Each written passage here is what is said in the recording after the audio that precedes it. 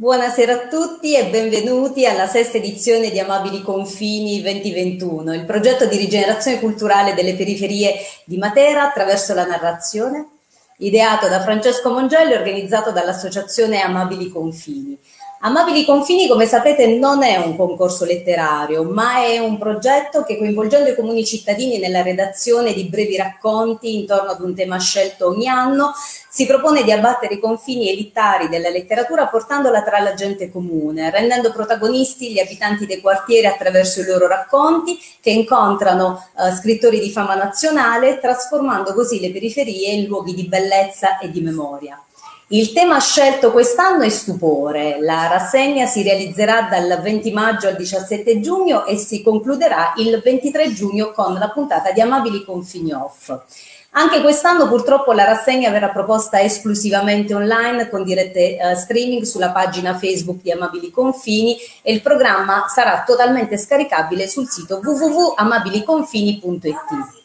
Ringraziamo tutti gli sponsor della rassegna ed in particolare i top partner BCC Basilicata, Ego Italiano, Betafin e la nostra cara libreria di Giulio che ci accompagna ogni anno all'interno di questo meraviglioso viaggio che è Amabili Confini.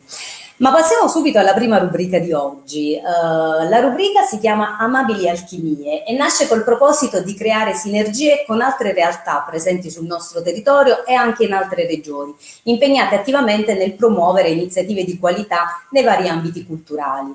Quest'anno abbiamo pensato di inaugurare questa rubrica ospitando una, uh, un'amica di Amabili Confini, che è la casa editrice Iperborea, con cui abbiamo già avuto il piacere di collaborare nel 2019 portando il Festival Liboreali anche a Matera, proprio nell'anno in cui la nostra città ha ricoperto il ruolo di capitale europea della cultura.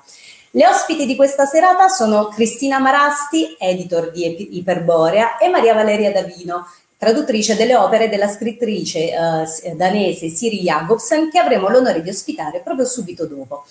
Non ci resta che passare la parola a Cristina Marasti e Maria Valeria Davino perché la serata è lunga, ricca di tante sorprese e io vi invito a rimanere con noi e interagire con noi attraverso i messaggi su Facebook perché le sorprese saranno davvero tante e la serata vi garantisco piacevole.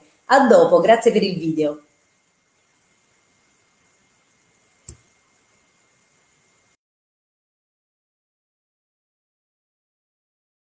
Buongiorno a tutti, io sono Cristina Marasti eh, di Iperborea e che per chi non la conoscesse è una casa editrice specializzata in letteratura del nord Europa, eh, fondata ormai 34 anni fa eh, con l'obiettivo preciso di portare, far conoscere in Italia la letteratura del nord Europa che era all'epoca molto poco conosciuta. E, e da allora Iperborea traduce e pubblica eh, sia i grandi nomi, i grandi classici premi Nobel del Nord, eh, quindi nomi del passato, sia il meglio della letteratura nordica contemporanea. Eh, come ad esempio eh, Siri Ranvael Jacobsen, eh, l'autrice di Lettere tra due mari. Siri Jacobsen è una poetessa e scrittrice danese la cui famiglia è però originaria delle isole Faroe, che sono queste piccole isole sperdute in mezzo all'Oceano Atlantico. E a nostro avviso Siri è una delle voci più originali e più affascinanti del panorama letterario nordico contemporaneo. E ci ha letteralmente folgorato tre o quattro anni fa, quando l'abbiamo scoperta pubblicando il suo primo romanzo, eh, che si intitola Isola, e che è un romanzo di ispirazione autobiografica eh, che racconta appunto di una ragazza danese, nata e cresciuta in Danimarca, ma di origini faroesi, che decide di compiere un viaggio di ritorno alle isole Faroe per eh, ricostruire la storia della sua famiglia e per cercare se stessa, le sue radici, la sua identità. Eh, una, un'identità in, in, quanto le isole Faroe sono sempre state, come dire, parte della sua, ehm, della, del, del, suo mondo senza però averle mai conosciute. Lei si sente profondamente di appartenere a queste isole senza averle mai conosciute. E si trova così all'improvviso catapultata in questo microcosmo sperduto nell'Atlantico e come sospeso nel tempo tra una natura primigenia molto potente e un ricco patrimonio di miti e leggende che sono proprie di queste terre e che per via del loro isolamento è un patrimonio che rimane ancora oggi molto vivo, molto vivo eh, tra i suoi abitanti e il recupero della sua storia familiare per ritrovare le sue radici e se stessa. Un romanzo quindi di identità poetico ma anche sulla natura. E, um, un romanzo in cui direi che natura e poesia dialogano e, ed è proprio questa la, la cifra per, di, di, dello stile di Siri Jacobsen e in particolare proprio il linguaggio poetico che ritroviamo anche nel secondo libro Lettere tra due mari eh, che è un libro, possiamo dire, che ha una genesi tutta italiana, in quanto un paio di anni fa, dopo il suo debutto in Italia, eh, Siri fu invitata dalla Barcolana a eh, scrivere un inedito sul nostro mare, il Mar Mediterraneo. E lei accolse con piacere l'invito e, essendo cantrice del Mare del Nord, eh, le venne questa idea di eh, comporre questo dialogo, questo scambio di lettere eh, tra i due mari, da una parte il suo mare, l'Oceano Atlantico, e dall'altra il nostro mare, il mar Mediterraneo. E da questo scritto, piccolo scritto, eh, questo venne poi ulteriormente elaborato, ampliato con anche il contributo di una bravissima illustratrice per diventare Lettere tra due mari, il secondo libro di Siri che oggi presentiamo. E è un libro, eh, possiamo dire, che parte dal presupposto in principio tutto era acqua, eh, ovvero che il nostro pianeta era effettivamente in principio completamente ricoperto da eh, un'unica massa d'acqua. E poi eruppero le terre, si formarono i continenti e quest'unica distesa d'acqua eh, venne suddivisa in tanti mari diversi e si rimmagina che questi mari, eh, cioè queste, eh, queste, acque sorelle che in principio erano una cosa sola, erano un tutt'uno, oggi anelino fortissimamente a ricongiungersi, a tornare a essere un tutt'uno, sommergendo completamente la terra. E eh, in effetti a noi eh, questo è quello che sta accadendo eh, al, al, genere umano, al pianeta Terra, perché per via del, eh, del cambiamento climatico, dello scioglimento dei ghiacciai, eh, il livello dei mari va aumentando in modo sempre più drammatico e velocemente ogni anno. E quindi questo da un lato è un, un libro che da questo punto di vista affronta questo problema così cruciale e controverso del genere umano, che è il problema della sua estinzione, ma lo fa a modo di Siri eh, in un modo appunto assolutamente originale, poetico, ribaltando la questione, dando voce alle acque che sono protagoniste di questo fenomeno. In particolare a due sorelle acque, Atlantica, ovvero l'Oceano Atlantico, e Mediterranea, al Mar Mediterraneo, che in questo libro si scambiano delle vere e proprie lettere, il libro proprio composto solo ed esclusivamente dalle loro lettere in cui raccontano se stesse, la storia del loro rapporto col genere umano, e quello che sentono, quello che provano, e a, e a proprio modo, Atlantica più anziana, burbera, cinica, dall'al, dall'alto dei suoi 180 milioni di anni che ha visto tutto, ha visto di tutto, e quindi più cinica anche verso il genere umano, e Mediterranea più giovane, più sensibile, anche più vicina al, alle sorti tristi del genere umano. È quindi un libro che eh, rifonda il mito della grande madre, se vogliamo, non più la grande madre terra, bensì la grande madre acqua, principio e origine di ogni vita, e attraverso la voce delle acque eh, racconta la nascita e il declino dell'umanità. E Maria Valeria eh, Davino, che sto per introdurre in questo momento, è la eh, traduttrice eh, della, di Siri Ranvaya Jacobsen, di tutti i suoi libri e colei che anche ha, ha aiutato a scoprirla, ci ha aiutato a scoprirla.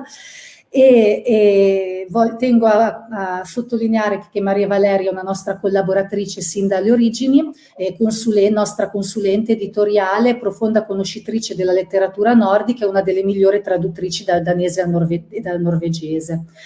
E, e per me è interessante chiedere a Maria Valeria, eh, dall'alto della sua esperienza di conoscitrice e traduttrice, eh, come è stato per lei l'incontro con Siri eh, come scrittrice e che cos'è che l'ha colpita particolarmente di Siri e che cos'è a suo avviso che rende Siri una scrittrice speciale. Eh, grazie Cristina. E, ehm, eh, sì, io sono son perfettamente d'accordo, poi abbiamo lavorato insieme, io come traduttrice e tu come redattrice su Siri, quindi abbiamo avuto modo di scambiarci il punto di vista su questa scrittrice che, che, ha affascinato tanto tutti e due, come tutti quelli, le persone in casa editrice.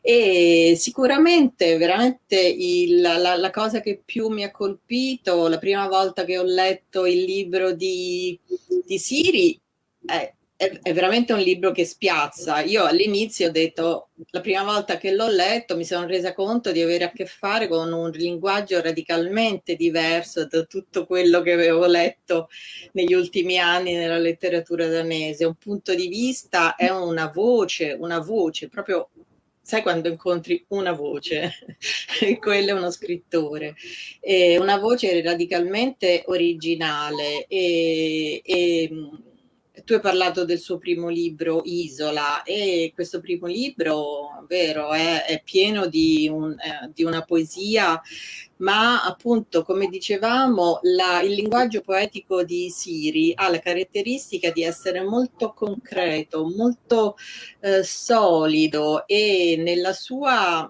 originalità, perché appunto, uh, come dicevi tu, quella è una riflessione sulla migrazione, ma è un punto di vista totalmente originale sulla migrazione. Come questo forse è un discorso, lo è sicuramente un discorso importante sulla, sull'ambiente, sul nostro ambiente, ma è anche questo un punto di vista originalissimo sull'ambiente, che lascia il lettore spiazzato. Si ripiace sicuramente al lettore che accetta di farsi spostare un po' dalle sue certezze. Questo è sicuro. Ed è questo che ha affascinato me come lettrice letteratura no, della letteratura nordica. Mi ha spiazzato, mi ha tolto dalle mie certezze, mi ha lasciato su un terreno mobile come lei parla, in isole ci sono queste isole galleggianti, no? Che sono una delle immagini più belle del suo libro, le isole che nel, nel, durante la notte si spostano improvvisamente. E la sua lingua è un po' come, e le sue storie sono un po' come quelle isole, però la sua, il, la sua caratteristica è anche come lei dice che queste isole si possono fermare buttandoci sopra un pezzo di ferro e bloccandole, fissandole facendogli mettere radici. E mi sembra una bellissima metafora della sua scrittura, cioè fluida come le isole galleggianti e forte, solida come il ferro che le, che le ancora al fondo del mare. E, ehm, posso anche raccontare un piccolo aneddoto sulla traduzione, sulla, su, su, sul passaggio dal danese all'italiano di questo ultimo libro eh, Lettere fra due mari eh, ed è che eh, pro- un, uno, dei pro- uno, dei problemi che siamo dovuti eh, trovare ad affrontare con la traduzione in, in, in italiano è che mare eh, che è una parola che soltanto in italiano, credo, di tutte le lingue europee è maschile, in realtà li incarnava dei personaggi femminili e quando Siri l'ha saputo ha detto non se ne parla. Queste sono due sorelle in italiano maschile, mare, ma che cos'è questa cosa? Non si può tradurre. Allora noi abbiamo cominciato a rovellarci per capire come avremmo potuto come avremmo potuto fare. In realtà la soluzione poi è venuta dalla forma, dalla forma epistolare, perché appunto queste due sorelle, in fondo, quando uno si scrive, si chiama per nome. Sono, abbiamo inventato questi nomi Mediterranea, Atlantica e Artica, che sono appunto le sorelle acquatiche che Siri ha provato con, anche con, con entusiasmo e, e, siamo andati avanti così, ma eh, anche questo ci ha fatto riflettere ovviamente, in una lingua in cui lei ha detto come fate a abitare una lingua in cui il mare è maschile. Io me lo chiedo ogni volta che entro nel mare. e, e, insomma, sì, questa è, questa è un po' la, la, la, l'esperienza, l'esperienza con la, con la lingua di, di con, la, con, queste cosmogonie alternative, questi mondi alternativi che Siri sempre riesce a costruire. Quindi vi auguro, auguro, a tutti buona lettura, buona, buon divertimento con, con i libri eh, di cui parlerete oggi. Grazie al Festival Amabili Confini per, per l'invito e arrivederci a tutti. Mi unisco anch'io ai ringraziamenti di Maria Valeria e molte grazie davvero per l'invito da Amabili Confini e vi auguro di godervi a pieno questa intervista a Siri che eh, sono sicura vi colpirà perché anche lei, anche dal vivo, proprio come persona, come i suoi libri, è molto intensa, eh, molto particolare, sono sicura che lascerà il segno e eh, auguro al ma, maggior numero di persone possibili di scoprire la bellezza della sua lingua, della, della sua poesia e dei suoi romanzi. Grazie a tutti.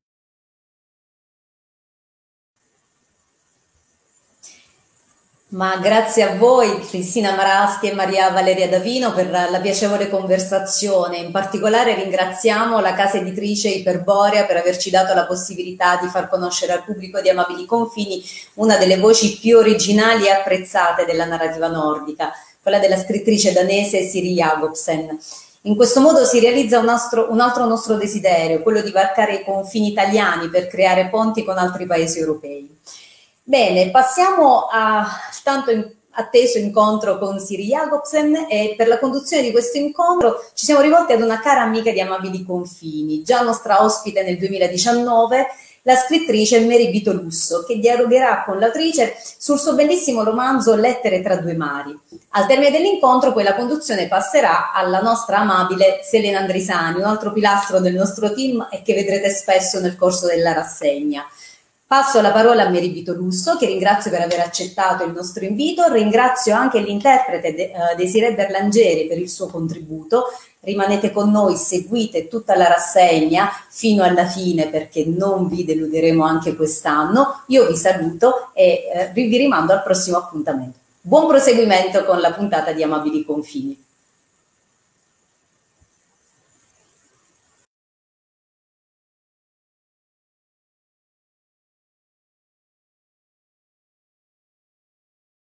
I confini per avermi appunto invitato, ringrazio l'autrice, la traduttrice che ci aiuta in questo dialogo. Siamo qui per presentare quindi questo nuovo romanzo di Siri Jacobsen che mh, si intitola Lettere eh, tra due mari, pubblicato da Iperborea, un romanzo che già dalla copertina così accattivante evoca effettivamente il mare in tutte le sue forme. Siri Jacobson è un'autrice danese giovane che eh, ha già pubblicato un libro di successo, L'isola, e ora questo suo eh, secondo romanzo, che è un libro molto molto singolare, un libro molto interessante e da più punti di vista. Indubbiamente dal punto di vista contenutistico dei temi, perché gli argomenti affrontati eh, sono temi appunto di grande, profonda e anche complessa attualità, ma personalmente a me è piaciuto da un punto di vista stilistico, soprattutto perché stilisticamente Jacobsen è, mh, ha una voce voce poetica, a tratti lirica, anche grazie a questa forma paratattica, ma al contempo riesce ad essere molto colloquiale, molto narrativa, molto lineare, ci fa entrare molto facilmente appunto nel testo.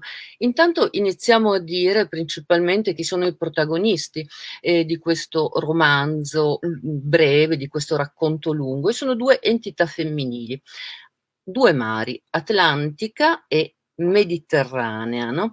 Sono i due, due appunto entità femminili che entrano in dialogo tra di loro tramite una forma epistolare, quindi tramite eh, il loro colloquio, tramite le loro lettere, vengono evocati i diversi temi che Siri Jacobsen affronta appunto in questo romanzo.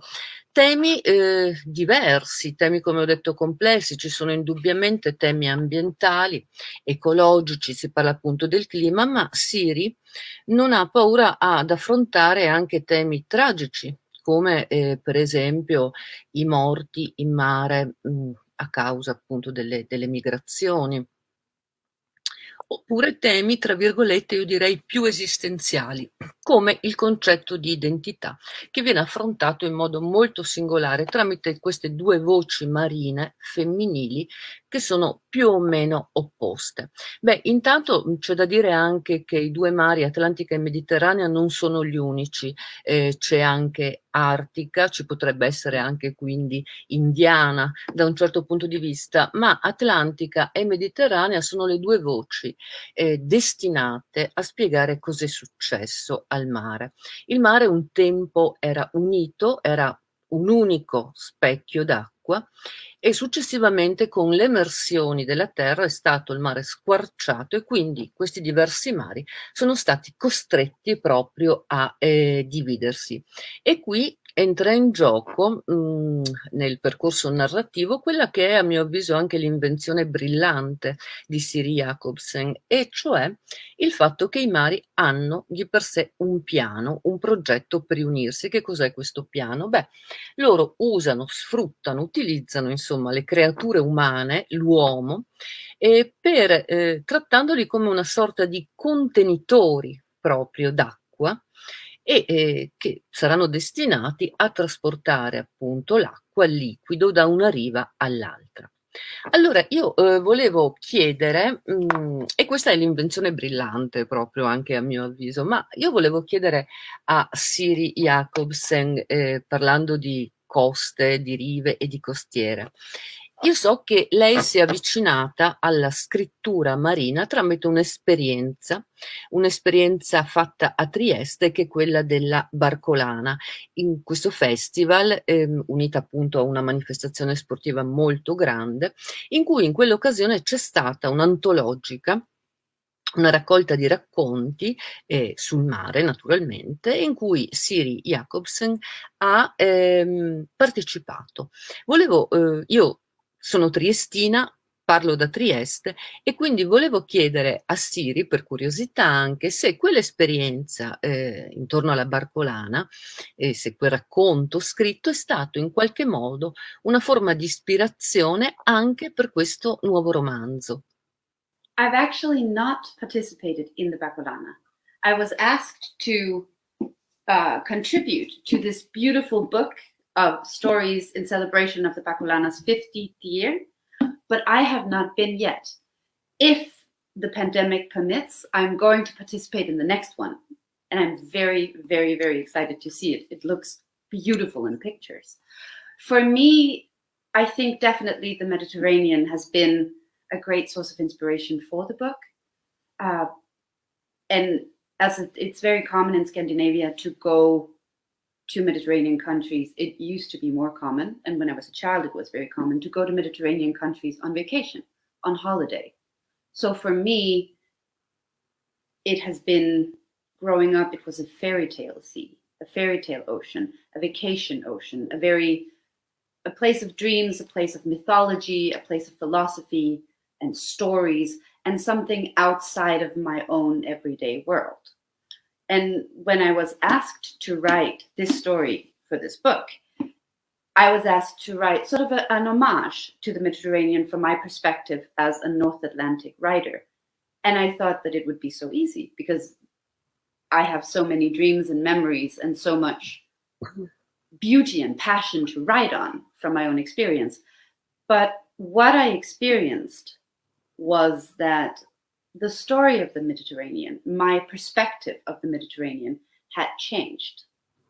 When I was writing this book in 2018, um, it was during the summer, and all over the news, there was the refugee crisis in the ocean. And at the same time, it was becoming common, becoming common knowledge that the Mediterranean was the ocean in the world at that time that was most heavily affected by climate change. And so the simple sort of romantic story that I wanted to write, it didn't come because my view of the space and the stories of the space had been complicated by history and reality, so to speak. So, in a sense, it was very much the Mediterranean that inspired the story because it was the Mediterranean that forced me to change my perspective and try something different. I couldn't write write from my human perspective, so in order to overcome that hurdle, I ended up writing writing from the ocean's perspective.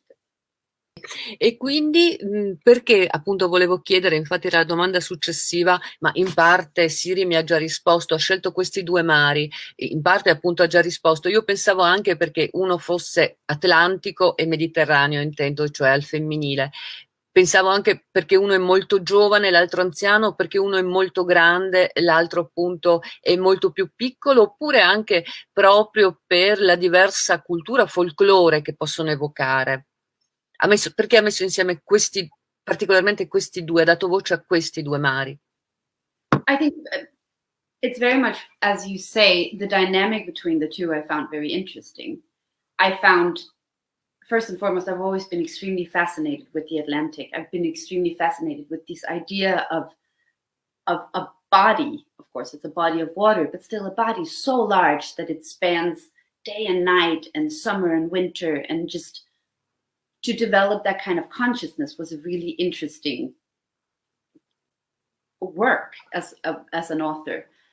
Um, it was much more difficult to develop the Mediterranean because what I realized when I did my research was that compared to the Atlantic, and I'm not talking culturally now, I'm talking sort of geographic, geographically, compared to the Atlantic, the Mediterranean would be very young, would be a teenager. And the idea of a teenage ocean was very interesting to me. So I thought about that dynamic and that built it up. I temi affrontati no, nel suo romanzo breve sono molti, sono complessi, sono molto interessanti proprio da un punto vista, dal punto di vista dell'attualità e colpisce eh, naturalmente il tema affrontato sulle morti in mare no, eh, per queste migrazioni appunto di massa che vengono affrontate tramite la figura allegorica di Icaro. Quello che però io ho trovato appunto singolare sono eh, le due prospettive, le due diverse risposte di Atlantica e mediterranea. Cioè rispetto a questo tema l'una si dimostra eh, mediterranea, la più giovane, l'adolescente appunto si dimostra molto eh, compassionevole e molto compromessa anche emotivamente perché ama l'uomo, mentre Atlantica ha una voce eh, quasi sprezzante nei confronti dell'uomo, mm, con eh, dei rivoli anche cinici, cosa che a me personalmente piace perché gli estremi, le opinioni estreme e in letteratura anche molto spesso limano via eh, qualsiasi buonismo retorico. Eh, fa però, specie in qualche misura, mi sono chiesta come mai appunto ha messo eh, a confronto queste due voci così ossimoriche, così contraddittorie, così frontali. I think that's a good question. I don't think I think that they have similarities too. I don't think that they're only opposites. For example, both of them share in the same, to begin with, both of them share in the same dream, all the oceans do, of being united again. So they are effectively dreaming about overcoming their oppositeness, if that makes sense. They don't want to be opposites. They don't want to be uh, a dichotomy. They want to be a unity. And they have that in common. But of course, then the Mediterranean develops certain doubts during the way. I think that, um, I think, I don't know that I think that they're so opposite. I think that they're different stages of, of development. And I think that in, for example, making the Mediterranean, as you say, she's more compassionate, she's much more involved but she's also much more flexible and much more curious. And I think that their different personalities highlights the strength and the weaknesses of their sort of states of being, their ages. Yeah. Ecco, e a proposito di questo, no, perché questo mi, mi, mi solleva appunto un'altra questione eh, che appunto lei dice no, non sono opposte ma eh, sono diverse in qualche modo e dipende probabilmente anche diver- del, dalle diverse età che rappresentano. Però mi chiedo anche sulla questione quando si arriva ad affrontare il tema della questione dell'identità, che è un tema anche questo molto molto complicato che viene affrontato quasi da un punto di vista esistenziale perché Atlantica mira all'unione, no? all'essere tutt'uno di nuovo e indubbiamente anche mediterranea, ma il temperamento e la reazione è molto diversa proprio a livello emotivo. Io devo dire personalmente per me era quasi angosciante, mi trovavo molto dalla parte di Mediterranea, cioè mentre l'una tende a questo, l'altra è terrorizzata di perdere i suoi connotati. E anche lì io vedevo quasi un'opposizione, ma allora probabilmente è un'opposizione che dipende dall'età che rappresentano, appunto, non è anche quella, anche quell'idea di identità eh, in cui mediterranea è mh, terrorizzata dal perdere i suoi connotati, mentre eh, Atlantica ha quasi la saggezza della vecchiaia che va verso il tutto, verso l'uno, non sono poi così opponibili, non sono opposte, appunto. Chiedevo questo, se anche per l'identità non c'è l'opposizione, ma una diversità. I think so. I think I mean, and also I, I agree that it's that, like they're, they're juxtaposed. But what I thought about and what I and that's the privilege, of course, as you know, of the author to be able to be like um, to build this colossal wor- world and then put it in a tiny little book. But what I thought about was that this letter exchange has taken place over millions of years. And what we're seeing is just like a moment in time. And in that moment, they are definitely sort of juxtaposed. But I think I identify mostly with the Mediterranean too, and I also uh, I find her situation in the book quite terrifying. Another thing that I think is interesting is that when you say that the uh, the Atlantic is more mature, that's I agree. That's how we would usually look at it, but I think when I read the book, I think that the idea of the quality of that maturity is also challenged a little bit because she's also cynical. And she's ready to she's not afraid of giving up her individuality. She's not afraid of losing her features. She doesn't care anymore. In effect she's almost sort of ready to die she's ready to become one with the others to lose herself but she's also ready to sacrifice so much in the process and i think that the mediterranean who holds on to her individuality, who likes her features, who feels beautiful and likes to feel beautiful. I think that she's also much more able to identify with these crazy little critters that they have populated the world with. And I think that she has, because she's interested in herself, she also has the quality of interest. She's curious Certo, certo, ma la cosa interessante e molto bella anche riguardo a questo tema, ma anche altri, come Siri Jacobsen praticamente da eh, questi argomenti non evoca mai un giudizio di valore, non evoca mai una morale e questo appunto è fondamentale, insomma, nella scrittura letteraria. Quello che volevo chiedere però era un'altra cosa, e cioè eh, come molto spesso si mh, usa dei personaggi mitologici, eh, questo capitava già nell'isola, no? erano dei personaggi omerici, e qui eh, ci sono invece altre figure mitologiche, mitologiche come eh, Dedalo, come Icaro e altre ancora. Quindi eh, volevo chiedere questo, se eh, l'autrice appunto è eh, innamorata di eh, questa forma letteraria classica oppure se sono funzionali, cioè se vengono usati per il loro forte valore allegorico. I do really love it. Um, I was the first book that I remember the Odyssey played a very important part of in my childhood. That's why it's also in uh, Isola. And I love that kind of storytelling, specifically because it is, I consider it fundamentally human. Of course, the classical Greek myths have been refined throughout the ages, but they this kind of mythological storytelling takes place in all cultures and at all times. And I find that extremely interesting. I think that it's it's a way of telling stories that have always been available to everybody and will always be available to everybody. And they are cross culturally understood. I think, for example, the, the story of Icarus, I'm actually more interested in Icarus's father, but the story of Icarus, you could tell that to any person anywhere on earth, and they would understand it.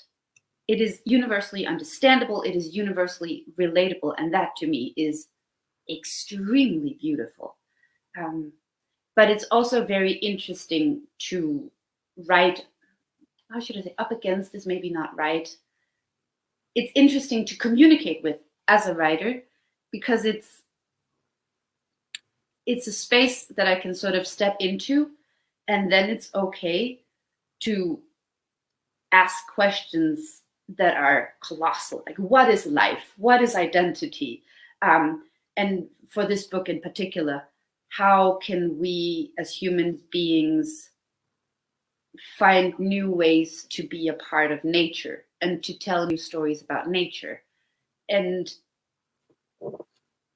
this the mythological space is a space without irony and it's a space without smallness. It's a space that allows allows for giant questions and i really really like that No, mi piace, che, mi piace appunto che ha, ha citato la natura no, in queste sue diverse forme per raccontarla perché eh, la mia domanda era proprio questa, la successiva, cioè se questo amore, questo legame così forte con la natura che è evidente insomma in tutto il libro, l'ultimo romanzo ma anche nel precedente, se è una cosa che c'è sempre stata fin da bambina questo forte legame col mondo naturale oppure se si è sviluppato nel tempo, magari in base a un'esperienza, in base alla formazione di studi.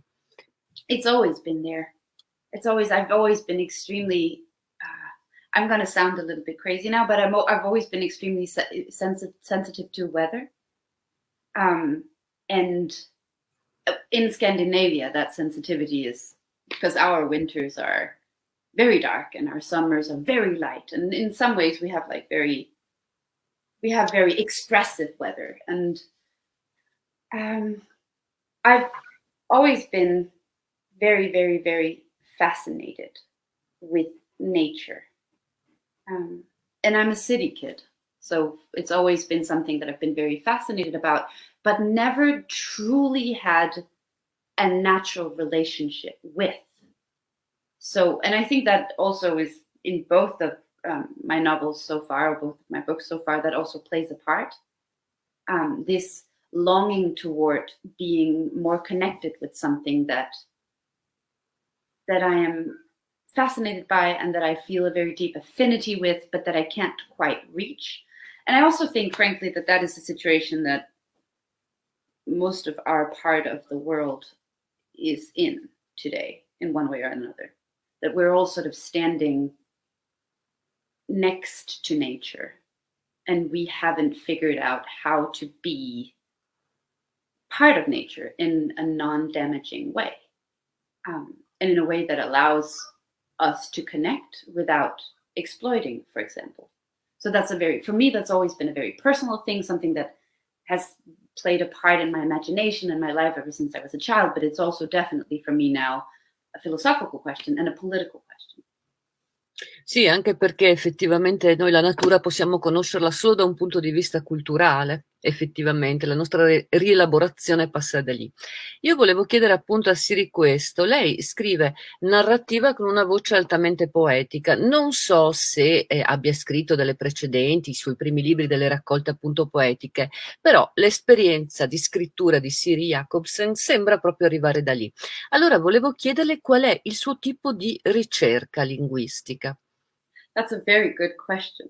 Um, that depends on the book. It it was two very different processes for uh, for Isola and this book that we're talking about now. And for this book that we're talking about now, it was first and foremost a question of sort of thinking about scale. Um, the two oceans are their voices are defined by their personalities, and their personalities are defined by their scale and their age. So that was sort of very concrete. Um, whereas for Isola, for example, I very consciously wanted to build an, an, a sort of a Nordic language, which is silly, of course, because I'm writing in Danish, which is a Nordic language. But I wanted, because the book is about being sort of adrift between Denmark and the Faroe Islands, um, I wanted to build a language that had sort of an echo of Norse mythology. So for me, it's it's uh, it's a question of the story, and then the characters, and then that sort of frames what the language should be able to do. And in this case, for example, the language, because it was oceans speaking, it it it should be able to sing, and it should be able, even though it's it's a letters, so it's a limit to how much they can sing in the letter, but it should be able to sing. It should be it should have a rhythm. It should have a flow, and it should be sort of um, not too contemporary, but also not old fashioned. A little bit. I've actually never been asked that question before, and it's hard to explain. I hope I'm making sense. Sei riuscita appunto a spiegare perfettamente, infatti una caratteristica, io direi, del linguaggio di Siri è proprio questo, no? particolare, cioè il fatto che da un certo punto di vista è ossimorico, perché può essere lirico, ma può essere anche cinico, può essere a tratti appunto ricalcare una sorta di scrittura in versi tramite questo stile paratattico, però poi è anche molto dialogico e molto colloquiale, quindi è una ricerca che porta a un tipo di scrittura molto fluida, proprio come diceva lei, no? Traghettare, traghettata quasi dalle onde in qualche modo. Ecco, a proposito di, di mare, sempre di acqua, a un certo punto nel romanzo eh, pare di stare mh, dentro a una sorta di gene egoista acquatico, no? Mi riferisco proprio eh, al piano dei due, mi riferisco al gene egoista di, di, Dawkins praticamente, mi riferisco però appunto al piano acquatico eh, dei mari, e cioè quello che hanno di riunirsi in qualche modo e quindi usano l'uomo come un eh, contenitore d'acqua, così come Dawkins diceva che noi eravamo una sorta di contenitore bare ambulanti destinati a eh, portare avanti, a contenere solo il gene, il cosiddetto gene egoista. E mh, mm, mi ha fatto ricordare tantissimo appunto dei brani che eh, riguardano il piano dei mari, il progetto dei mari, di questi uomini che sono destinati a travasare l'acqua da una riva all'altra, perché il mare finalmente appunto si riunisca, mi eh, ha fatto venire in mente immediatamente Dawkins con il suo gene egoista. Allora volevo chiedere come Siri ha avuto questa brillante invenzione. Well, it's true. That it, it's, it's what we are. Um, I think I, I, I, I, don't I, I don't know that I can answer the question directly because I often don't know. Um, but I thought that's how that's how so much of nature works. Like birds that carry seeds and that then plant forests. That then there's it's part of um, it's a logical extension of the circular way that life is created on Earth. I thought. Um, but I also really like the idea of turning, and that you can call like an opposite thing, turning the the utilitarian relationship that we humans have had throughout much of history with nature on its head and making humans the vessels, the utensils for some natural but greater power. I really like that idea. Um, yeah. Effettivamente, insomma, c'era questa corrispondenza così molto evidente, ma con questa invenzione molto brillante, perché poi se ci pensiamo l'uomo è anche fatto d'acqua, no? È proprio è un contenitore naturale d'acqua. Allora, io le chiedo questo, visto che lei cita appunto la poesia di William Carlos Williams, no?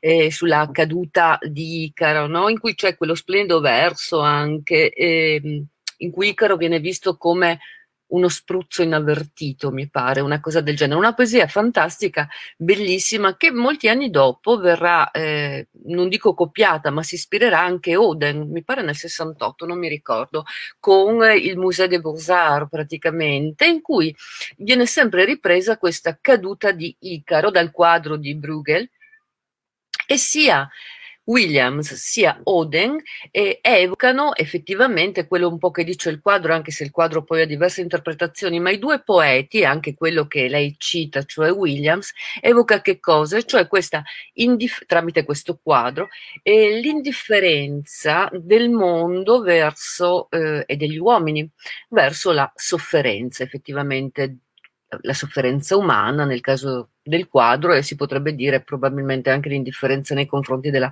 natura in genere. Allora volevo chiedere a Siri appunto che parte ha invece il quadro di Bruegel eh, nel suo romanzo.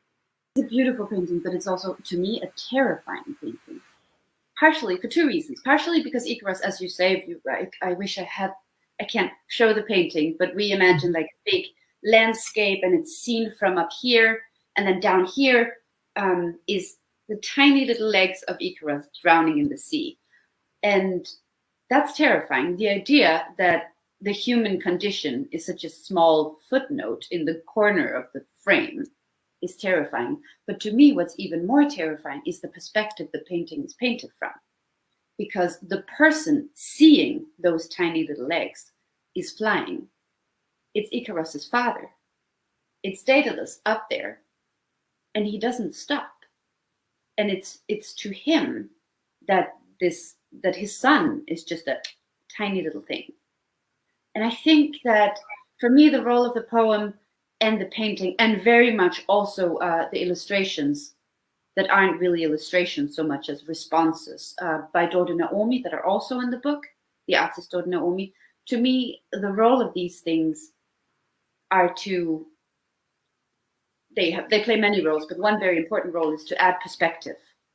Um, because when, as I do, one writes in sort of a mythological engine, there's always the very seductive um, risk of simplifying, of making things too neat, and of ending up moralizing. But by sort of adding perspectives, creating a space for for thought rather than giving answers, I think that that creates a more interesting and also, frankly, more useful literature. So that's the first role of them. They are there to sort of mirror the story from different perspectives. È bellissima questa risposta, è veramente molto molto interessante. Io non ci avevo mai pensato, però è vero, si corre il rischio eh, di eh, cadere appunto in definizioni categoriche e quindi di fare l'opposto a quello che vuole la, la, letteratura, e cioè non fornire risposte e dare domande. Ma appunto abbiamo già visto come anche in questo libro, Lettere tra due madri, eh, Siri Jacobsen sia ehm, profondamente... Mh, sia molto, molto complessa, non molto complessa perché poi è lineare e chiara, ma abbia una profondità di scrittura che scava proprio eh, nella poesia, nella dimensione quasi del verso, come dicevo all'inizio, grazie a questo stile appunto paratattico.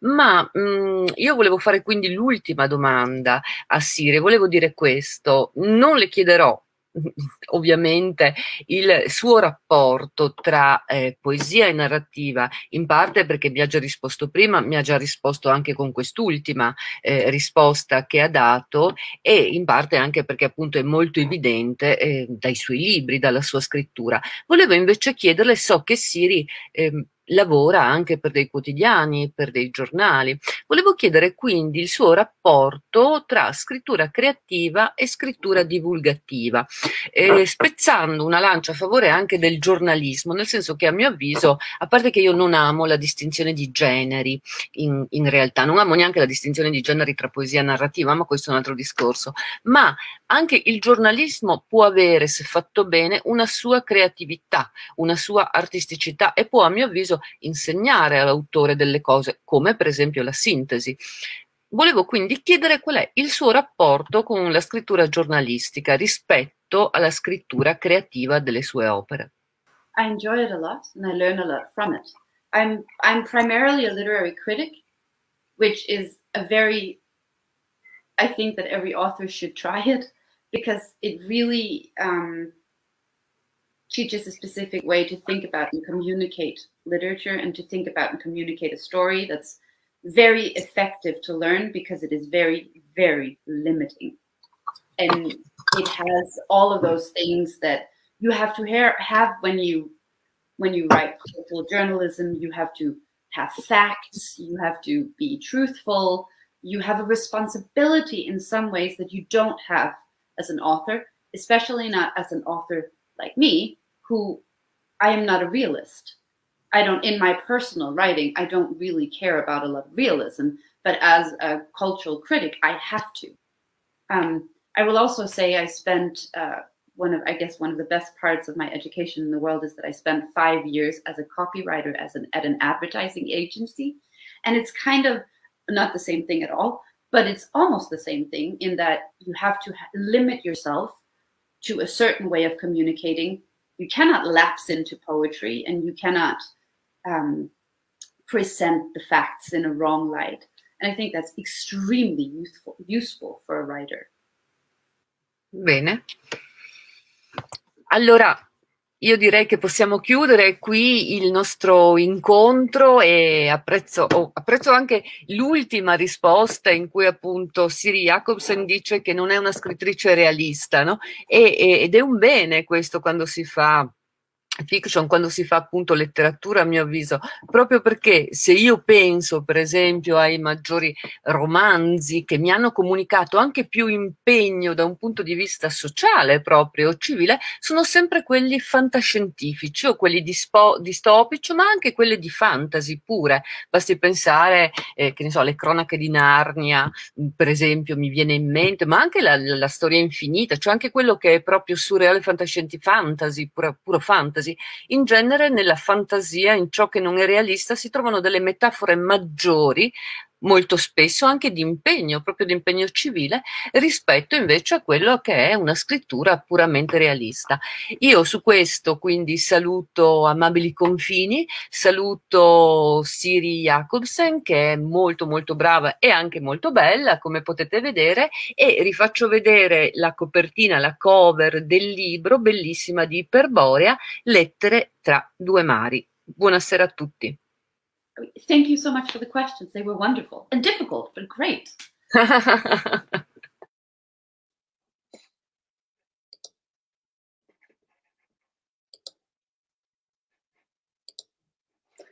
Buonasera, ringraziamo ancora eh, Siri Jacobsen per la sua disponibilità e le auguriamo, eh, e auguriamo a lei e al suo romanzo un grandissimo successo. Ringraziamo anche eh, la nostra amica Mary Vitolusso per essersi prestata in maniera così generosa a voler intervistare eh, Siri e speriamo di incontrarla al più presto, magari dal vivo, in presenza, e magari in occasione dell'uscita del suo nuovo romanzo, di un suo prossimo libro. Eh, colgo l'occasione per ringraziare ancora eh, l'interprete Desiree Berlangeri che eh, ha permesso questa conversazione tra Mary, eh, Mary Vitolusso e Siri Jacobsen e ringrazio anche la mia compagna di viaggio Maria Rosaria Salvatore che mi ha passato il testimone. Adesso io sono qui per presentarvi una nuova rubrica di Amabili Confini che si chiama Tradurre lo stupore. Vi racconto brevemente da che cosa origina questa rubrica. L'anno scorso, in aprile, eh, sarebbe dovuta partire la, eh, rasse- la prima edizione della rassegna Scrittori allo specchio, una rassegna dedicata alla promozione dei classici e dei loro traduttori. Purtroppo, come sapete, a causa di, eh, del primo e del secondo lockdown, questa rassegna non, si è potuta svolgere a Matera in presenza. Ehm, però oggi finalmente possiamo dirvi che abbiamo la conferma che la rassegna si svolgerà in presenza dal 2 al 30 di settembre del 2021 a Matera e vedrà la partecipazione di alcuni tra i più prestigiosi traduttori in italiano che eh, traduttori italiani, quindi tra, traduttori che traducono da altre lingue in italiano, che in quell'occasione parleranno di un capolavoro della letteratura mondiale che hanno curato. Eh, questa rubrica che noi che vi sto perché vi presento, tradurre lo stupore, esso vuole essere un piccolo assaggio di quello che sarà la rassegna. Quindi ogni, eh, in ogni puntata di Amabili Confini vi presenteremo uno degli, eh, dei traduttori che poi sarà presente con noi nella rassegna di settembre. A questo proposito, stasera è con immenso piacere che vi presento la prima gratita ospite della, di questa rubrica che è Susanna Basso. Buonasera a tutti, buonasera e grazie, grazie infinite di questa presentazione. Sono molto contenta di essere qui con voi, anche se in questa forma, in attesa di momenti migliori dal punto di vista della nostra presenza. E, ehm, allora, Susanna, io eh, farei una brevissima eh, presentazione del tuo lavoro e poi dopo ti lascio la parola. Perfetto. Susanna Basso, eh, devo, leggerla perché è talmente densa e ricca di, eh, di informazioni che non la, posso, non la potevo certo memorizzare. Dunque, Susanna Basso ha vinto per due volte il premio Procida per la traduzione. Si è aggiudicata il premio Mondello nel 2006, il Nini Agosti Castellani nel 2007 e il premio Giovanni Emma e Luisa Enriquez nel 2016. Tutto corretto fino adesso? È giustissimo, sì.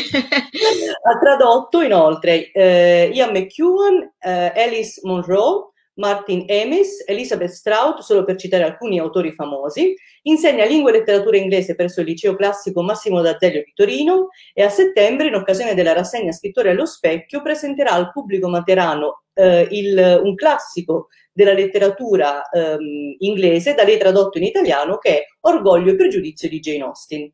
Susanna, a te la parola. Grazie, grazie infinite. Eh, allora, io partirei dal titolo che mi è stato proposto, e cioè lo stupore, tradurre lo stupore, e partirei dalla considerazione che lo stupore è parte essenziale di ogni relazione artistica. Eh, l'artista attraverso la sua urgenza del dire, del, del comunicare la propria meraviglia, produce nel, nel, lettore, nel fruitore di questa meraviglia uno stupore. La, la traduzione svolge in questo senso un ruolo molto delicato e di grandissima, straordinaria responsabilità, perché la traduzione si frappone tra la meraviglia del testo e eh, lo stupore del lettore. La traduzione è, è chiamata quindi a custodire la prima, custodire la meraviglia del testo, per quanto possibile, e a una forma di lealtà dello stupore del lettore. Eh, Recentemente parlavo con una mia grande amica e preziosa revisora delle mie traduzioni dei Naudi, grazie a Giua, e par- stavamo parlando di un lavoro bellissimo e molto complesso che lei sta svolgendo in questo momento eh, su un, una traduzione, su un lavoro di traduzione. Mi leggeva eh, alcuni brevi passi di questa traduzione, di que- anzi di questo testo eh, fonte, di questo originale, e la complessità la complessità davvero impervia del testo eh, ci, ci, ha portati a parlare del fatto che per, per riuscire a produrre qualcosa su questo testo bisognava spacchettarlo, cioè era letteralmente necessario arrivare a, a aprire queste parole e a farle, eh, a farle, diventare comprensibili. Il problema, e, e qui vuol dire davvero spacchettare la meraviglia del testo, il problema è che per un traduttore questo è metà del, del percorso, perché a quel punto è necessario eh, se possibile e per quanto possibile, fare il percorso inverso, e cioè riuscire a rimpacchettare quella meraviglia per offrirla il più possibile, eh, diciamo, vergine al, al, allo sguardo del, del lettore. Ecco, credo che questo sia il rapporto che eh, in, in traduzione eh, c'è tra meraviglia eh, del testo, direi, soprattutto del testo, e, e, e, stupore del lettore. Noi eh, ci inseriamo lì in mezzo, questa è la nostra immane responsabilità. Eh, nel, negli ultimi anni, direi, nell'ultimo periodo del mio lavoro di traduttrice, io ho lavorato essenzialmente su, eh, su Jane Austen, eh, non solo su Orgoglio e Pregiudizio, anche su Northanger Abbey, su Ragione e Sentimento, e quindi ho avuto una lunga frequentazione con eh, la signorina Austen, ehm, della quale non, non, non, vi parlerò questa sera, rimando a, a più in là il discorso su Jane Austen, ma eh, a proposito di questa meraviglia, ovviamente, insomma, stiamo parlando di una delle grandi, eh, delle più grandi scrittrici eh, del panorama letterario britannico. Quello che eh, posso dirvi io dal mio punto di vista a questo punto è che eh, Jane Austen è molto generosa di meraviglia in, nei suoi prodotti e molto molto avara di accoglienza del, del, del, traduttore. Mi ha sempre lasciato, nonostante ormai lavori sui suoi testi per, da, da, parecchio tempo, sono, ho sempre avuto la sensazione di essere lasciata sulla soglia di quella porta di cristallo, perché poi eh, Jane Austen è così pura.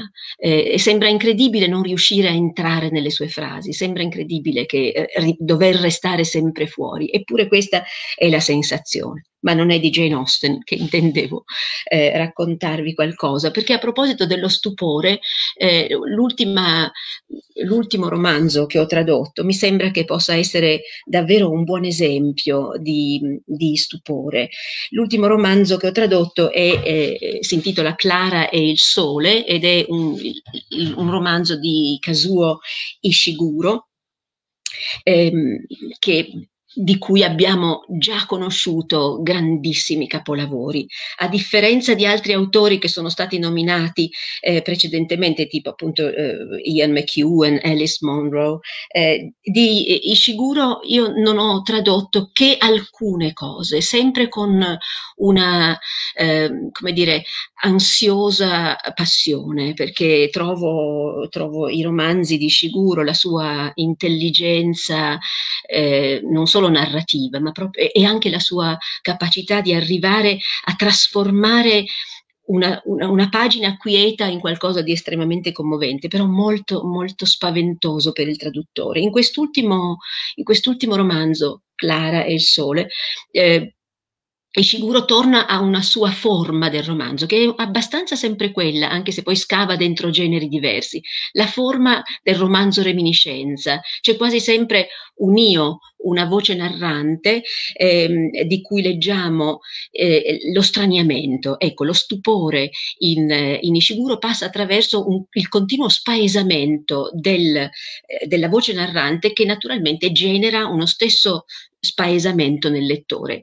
È molto facile iniziare eh, la lettura di un romanzo di Ishiguro e, e, e domandarsi chi sta parlando e, e, di cosa sta parlando, che cosa sta dicendo. E questo è il caso, per esempio, del suo primo eh, grande capolavoro, eh, che è quel che resta del giorno, in cui a parlare è il il maggiordomo Stevens o è il caso del, dello splendido Never Let Me Go, non lasciarmi, in cui a parlare è un assistente, ma non sappiamo, non capiamo chi, di che cosa, che cosa sia, a che cosa si riferisca questa parola, di che cosa stia parlando la, la voce narrante.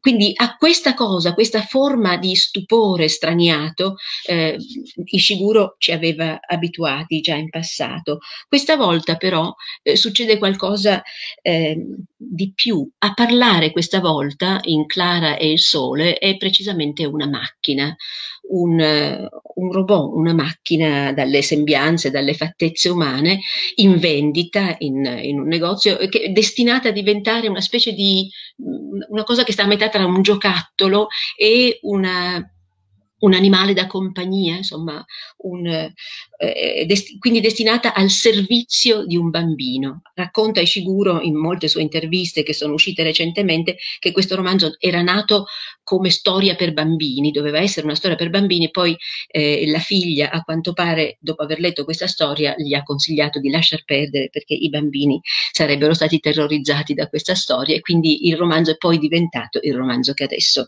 leggiamo, è davvero bellissimo.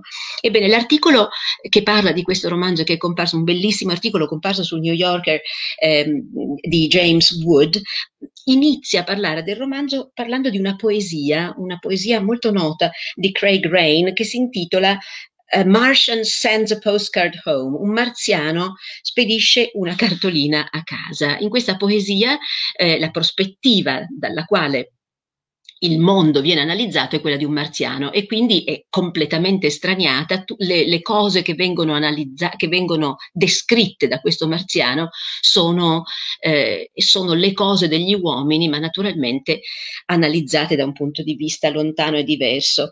Eh, per, vi faccio solo un esempio di questa poesia. Le, I versi finali dicono qualcosa tipo la notte e, la, e il, l'immagine che il marziano ha dei sogni, dell'attività onirica degli uomini, che definisce così la notte quando muoiono tutti i colori, eh, gli umani si nascondono a coppie e leggono di loro stessi a palpebre chiuse. Ecco, questa è il, la conclusione di questa poesia eh, cartolina di un marziano, quindi un, una bellissima definizione dell'attività onirica appunto come uomini che si, come, come creature che si ritirano e poi leggono di loro stessi. Eh, dice però James Wood, parlando di, questa, di questo suo raffronto tra eh, lo straniamento di Ishiguro e quello di Craig Rain, che eh, l'intensità eh, con cui eh, si può affrontare una prospettiva così straniata in poesia è naturalmente molto condensata.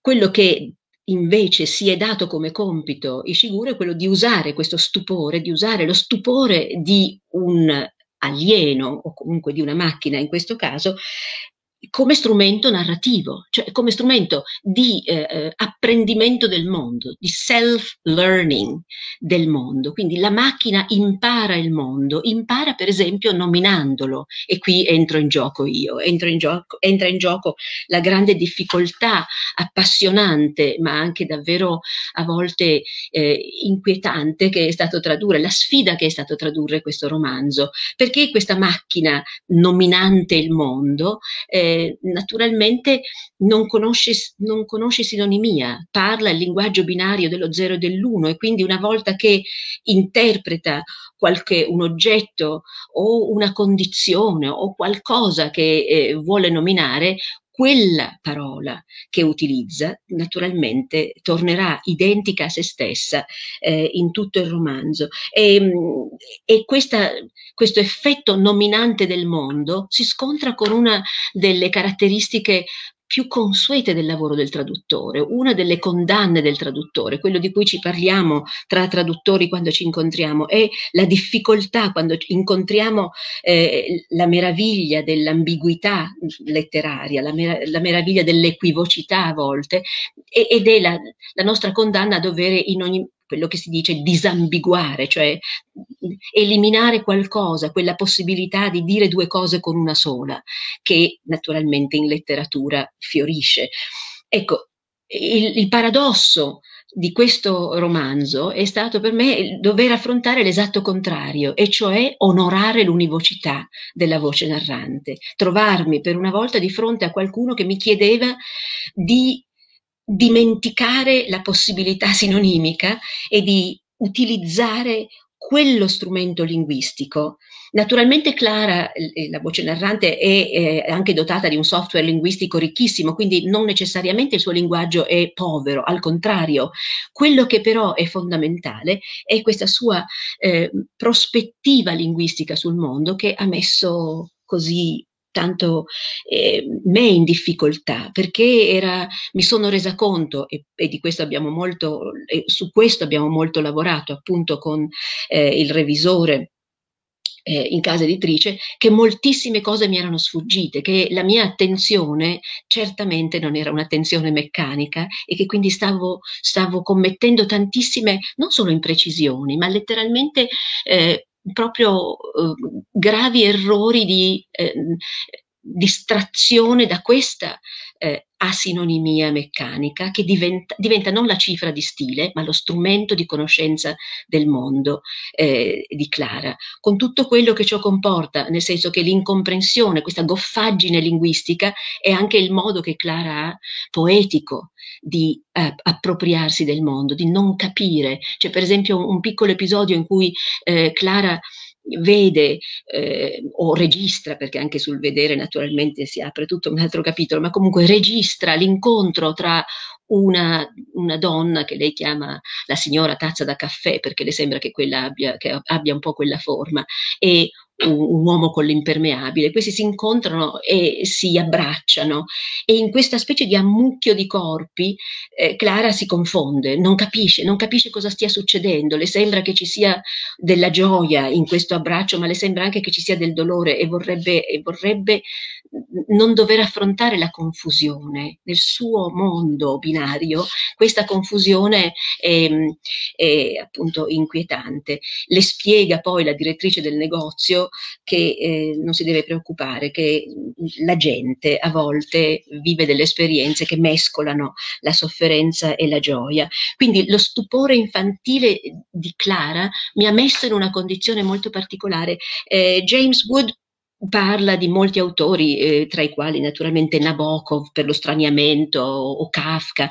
A me devo dire che in certi momenti eh, sembrava di essere di fronte al primo capitolo di, dell'Urlo e il furore di Faulkner, che come immagino ricorderete è uno splendido esperimento di eh, narrazione attraverso la prospettiva di Benji. Benji è un, un, un gigante, un, un, uomo di 33 anni, grande e grosso, con un ritardo mentale eh, che racconta la storia la, la, dolente storia della famiglia Compson e soprattutto il suo dolore per l'assenza della sorella Caddy attraverso la percezione fisica. Ecco, se Benji è tutto corpo e tutto quello che racconta passa attraverso il benessere, malessere, caldo, freddo, eh, mancanza oppure eh, invece affettuosità, del suo corpo e quindi è il corpo che parla e che va più veloce della sua mente. Qui abbiamo invece, o io mi sono ritrovata a dover tradurre la lingua di, un, ehm, di una creatura, di un oggetto, eh, di un prodotto possiamo anche dire, che invece registra tutto in assenza di eh, intelligenza sensoriale o almeno che sta cercando di svilupparne una. Ecco, ehm, queste e molte, davvero molte altre ancora sono le meraviglie del nostro stupore di traduttori. Vi ringrazio. Grazie Susanna, parole splendide, ero rapita, non riuscivo a smettere di, eh, ero lì eh, presa così tanto che mi ero dimenticata di essere qui in diretta su Facebook. Grazie mille, la ringraziamo molto di aver partecipato e di averci eh, donato questi, queste riflessioni e questi racconti così personali e così belli, così intensi. Io, mi rimarrà in mente questa sua definizione, la difficoltà appassionante e inquietante del tradurre. Sono sì. Mi rimangono sempre dentro perché sono effettivamente molto, um, come dire, descrivono in maniera molto accurata quello che vuol dire tra, quello che era appunto la traduzione. La ringrazio molto. E speriamo grazie, di, insomma, grazie a tutti voi grazie dell'ascolto. A presto. A presto.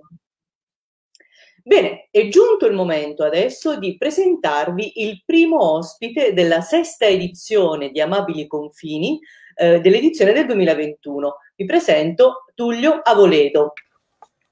Buonasera, Buonasera. bentrovati. Buonasera, bentrovato, benvenuto ad Amabili Confini. È un piacere anche perché ho evitato, evitato, il viaggio, quindi sono perfettamente riposato dopo una giornata di lavoro, cosa che eh, è consentita da questi incontri in streaming, anche se manca contatto diretto ed è un peccato. Esatto, tu le guardi, io le, le garantisco che è molto più emozionante, le, le, la, nostra, la nostra rassegna è molto più emozionante quando fatta dal vivo, però ci accontentiamo di quello che ci mette a disposizione la tecnologia in questi, ci ha messo a disposizione in questi anni, in questi ultimi due anni e quindi siamo molto felici di accoglierla anche in questa forma. Eh, io la presento brevemente e poi le racconto un po' quello che, come andrà la, il pomeriggio. Dunque, Tullio Voledo, leggo perché ovviamente anche in questo caso le informazioni sono tante, mi corregga se sbaglio. Tullio Voledo, friulano, vive e lavora a Pordenone. È uno dei maggiori esponenti del giallo in Italia, è autore di numerosi libri, tra cui il romanzo che presenteremo intorno alle 19.30 e che ha vinto il premio Scerbanenko del 2020. Il romanzo si intitola Nero come la notte ed è pubblicato da Marsilio. Tutto corretto? E qui tutto a posto. Benissimo. Allora Tullio, non so se lei ha avuto la possibilità di, eh, non, non, se conosce la nostra rassegna, però Amabili Confini è fondamentalmente un progetto di comunità in cui si dà ampio spazio ai racconti degli abitanti dei quartieri de, di Matera. Eh, e di solito uh, i nostri ospiti, i nostri amici eh, ospiti, eh, vengono abbinati ad una delle macro aree nelle quali è stata suddivisa la città. La macro area alla quale è stato abbinato lei Tullio è la macro, la macro area A che comprende i quartieri di Lanera, di Rione Pini, di Giustino Fortunato, Cappuccini ed Agna. Eh, di tutti i racconti giunti ad amabili confini dalla macroarea A, il, noi del team ne abbiamo scelti due, ovviamente ispirati al tema di quest'anno che ricordiamo il tema dello stupore. Eh, I due racconti scelti sono La prima carezza di Mariella Venezia e Finalmente piangere, scritto a quattro mani da Anna Chiara Strafella e Danila Annunziata. Um, io adesso chiederei a Mariella di entrare, così eh, lascio la possibilità di... Um, buonasera. buonasera. Allora, Mariella Venezia, eh, benvenuta, benvenuta ad Amabili Confini. Grazie, grazie mille, è un grande onore per me. Anche per noi è un piacere, un piacere che lei abbia scelto Mobili Confini per eh, eh, donarci questo suo racconto che eh, è stato così, a noi è piaciuto talmente tanto appunto che l'abbiamo scelto per questa, eh, per questa mh, mm, per questa, per questa, giornata.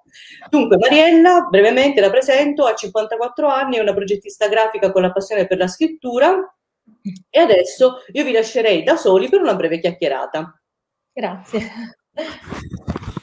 Ma più che volentieri, eh, devo dire che sono rimasto stupito da questo racconto, eh, un po' meno stupito quando, quando, ho letto che appunto c'era dietro un background di progettista grafica, perché è un racconto estremamente ben costruito, è un racconto eh, intanto che lascia molta curiosità, molta, è un racconto che non pretende di dire tutto, tocca delle corde del cuore, ma al tempo stesso è come se continuasse nell'anima del lettore e dovesse essere scritto dal lettore attraverso le sue sensazioni, attraverso le... Ed è, devo dire, sono rimasto incantato dalla, dalla, dalla grazia e dalla, e, e dalla, perfezione. Io amo, amo, ad esempio, una forma di poesia giapponese che è l'aiku, che è fatta per sottrazione. Sono, eh, sono poesie che devono essere di 5, 7, 5 sillabe, quindi sono tre versi, poesie brevissime che, hanno, che seguono delle regole molto precise. Quindi ci deve essere la concisione, il sentimento, l'evocazione di una stagione, di uno stato d'animo. E in questo racconto trovo, una, trovo molte, mol, molto un'affinità oh. con questa forma di poesia. Quindi un lavorare per sottrazione. Eh, ci sono dei misteri, ci sono delle cose dette, ci sono delle cose eh, eh, molto concrete, molto, molto materiali, la, la, sensazione del battito del cuore eh, e, poi, e, poi, quelle situazioni terribili a cui ci hanno abituati questi due anni di pandemia, quindi la, la, l'essere intubati, l'essere... Il corpo, il corpo nella sua fragilità eh, a confronto con l'ambiente medico, che quanto di più terribile possiamo affrontare noi che non abbiamo conosciuto guerre o, o, o il pericolo di una traversata del, del mare. Per, però, mh, voglio dire, ho trovato veramente eh, uno splendido racconto proprio per la sua eh, sapienza costruttiva. Quando ho saputo poi che eh, il mestiere di chi l'aveva scritto, ho capito, ho capito tante cose. Complimenti. Eh, grazie, io la ringrazio molto, sono molto onorata di poterla incontrare, ho cominciato a leggere il suo bellissimo libro, non sono riuscita a finirlo, però le prime 60 pagine mi hanno fatto compagnia e ovviamente me lo sono bevuto, penso che continuerò così. Eh, il racconto che ho scritto, diciamo che mh, era già dentro di me diciamo da quando l'ho vissuto, infatti dall'aprile 2007, però è venuto fuori grazie a uno stimolo, perché se no sarebbe forse rimasto lì. Cioè io eh, non lo so, ho bisogno della come per il lavoro della scadenza, cioè se non ho un obiettivo non riesco a, a, a far venire fuori quello che, che ho, che, che, che, mi va di comunicare, che voglio comunicare. E lì ha detto la sintesi, sì, diciamo che fa parte forse del nostro mestiere, dover sintetizzare in poco, in un piccolo spazio, tanto, tante, tanti concetti, tante realtà, tante cose. E, ehm, e che altro dirle? Eh, sono contenta di, di, poter dialogare con lei, però... Ehm, speravo che lo, lo leggessero perché eh, oltre a lei speravo che qualcuno lo, cioè che, che, lo potessimo leggere perché eh, parlarne così eh, non, cioè non posso eh, raccontare quello che, che, mi ha spinto a scriverlo che poi voglio dire sicuramente lo stupore del primo momento in cui ho visto la mia creatura che non, non ho potuto vedere subito non ho potuto vedere dopo due giorni e quindi quei due giorni sono stati terribili, e poi vederlo così, cioè vederlo così fragile, così, però anche forte, cioè fragile perché era in quella condizione, però forte perché era, cioè, era immenso, c'era una creatura meravigliosa perché non riuscivo a immaginare.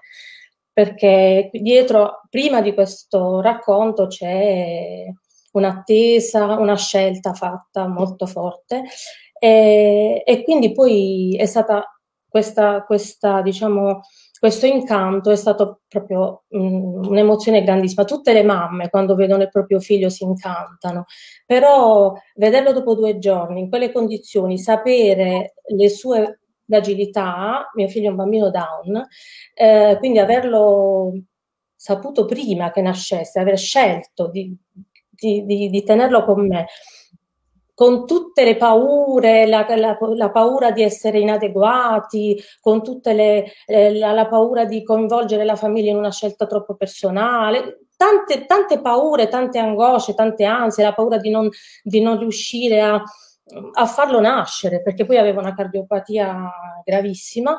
Eh, non, ha, non, non, ho potuto vederlo subito per questo motivo e, e, quindi vederlo dopo due giorni mi ha proprio, proprio una cosa non, cioè non, non, so se sono riuscita a descriverlo abbastanza in maniera così. Benissimo. benissimo spero che lei scriva ancora, insomma, che non sia solo un episodio, un episodio isolato. ogni tanto diciamo, quando come un'esigenza, come un voler eh, conservare eh, sulla carta dei frame. Non, non, voglio, non, vorrei che venisse perso niente di tutto quello che ho eh, in mente, quindi mi piace scrivere, solo che, come le dico, ho bisogno dello stimolo, ho bisogno della... perché poi ti perdi nella giornata, nelle cose da fare, nella routine e questo poi ti manca, insomma. La scrittura mi manca quando non riesco a Mariella, guardi, allora io eh, le consiglio di seguire sempre Amabili Confini che può diventare il suo stimolo, il suo stimolo e suo, la sua scadenza per scrivere anche Benissimo. A parte l'opportunità di conoscere eh, gli scrittori di questo calibro, di avere la possibilità di, di incontrarli, ma mi sarebbe piaciuto tanto parlare di, de, del suo personaggio che farà parte sicuramente mi sarà compagno di, forse di, di, vita, cioè non lo so perché mi è piaciuto tanto anche se all'inizio mi era antipatico, cioè le prime pagine mi è risultato antipatico, poco empatico, ecco. Adesso va avanti continui a seguirci perché poi lo fa- presenteremo il libro, quindi sicuramente parleremo del personaggio, parleremo del personaggio e lei lo potrà conoscere anche uh, meglio e più da, più da vicino. No, no, penso spero che... poi che ci sia qualche occasione, magari l'anno prossimo, tra due anni, di venire a Matera e di, di leggere qualche altro suo, suo, racconto. Grazie, grazie mille, spero. È veramente complimenti. Grazie, grazie mille. Grazie Mariella. E adesso Grazie. A questo punto io chiamerei a eh, entrare in studio con noi Daniela, Daniela Annunziata, che è l'autrice del secondo racconto scelto dal team di Amabili Confini. Eh, ciao Danila, ben arrivata. Buonasera, grazie. Del tu perché una, sei una studentessa del liceo classico eh, Duni di Matera e quindi sei praticamente simile ai miei studenti. Eh, ti lascio in compagnia di Tullio. No, mi fa piacere anche perché anch'io ho fatto il classico, il protagonista del mio ultimo libro ha fatto anche lui il classico e, e, quindi trovare, io trovo sempre che sia una scuola speciale perché è una scuola non orientata al, necessariamente al lavoro, al dover diventare qualcuno, è, al, al, è, una scuola orientata al conoscere se stessi, al crescere dentro, a fare tante esperienze di autori che magari non servono a niente. Mi ricordo ancora mio padre che era un lavoratore, è diventato industriale, mi diceva ma cosa ti serve il greco antico? In realtà mi è servito più di quanto non, eh, più di quanto non pensassi per imparare le lingue, ad esempio. Quando, quando, impari, quando impari greco antico puoi imparare qualunque, qualunque lingua vivente o, o morta. Io eh, faccio i complimenti anche a te, alla tua, alla tua eh, all'altra coautrice che dunque, vediamo, eh, si chiama Anna Chiara Strafella, sì. Ma eh, poi ti chiederò una cosa, ma eh, il racconto mi è piaciuto molto. Devo chiederti solo una cosa, cioè a voi è piaciuto un film di Ozpetek per caso? Mm, l'avete visto? L'avete visto Mine Vaganti, un film di qualche anno fa? No, non, no. non l'abbiamo visto. è incredibile perché ha una... Ecco, se, se vi capita di vedere un bel film eh, ed è ambientato appunto eh, in Puglia e ha una situazione molto simile a questa.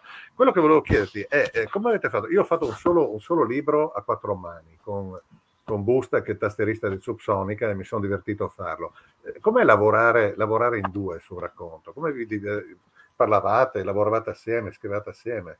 Allora sì, certo, inizialmente eh, è stato un po' difficile perché comunque io e Anna non ci conoscevamo affatto e diciamo il caso ci ha, ci ha messi insieme, però piano piano sentendoci, confrontandoci, confrontando le nostre idee abbiamo trovato una chimica e abbiamo diciamo costruito questo racconto insieme come se fosse una casa, mattone per mattone, alternandoci, siamo riusciti a svolgerlo in maniera molto semplice. Non, diciamo, alcune parti sono scritte da me, alcune parti sono scritte da lei, però entrambe sono frutto, diciamo, del, del pensiero di, di, tutte e due. Quindi, diciamo, si è creata subito questa chimica tra di noi che devo dire che è servita molto per la scrittura a quattro mani, che appunto può sembrare difficile, ma se ci si trova con la persona giusta diventa facilissima.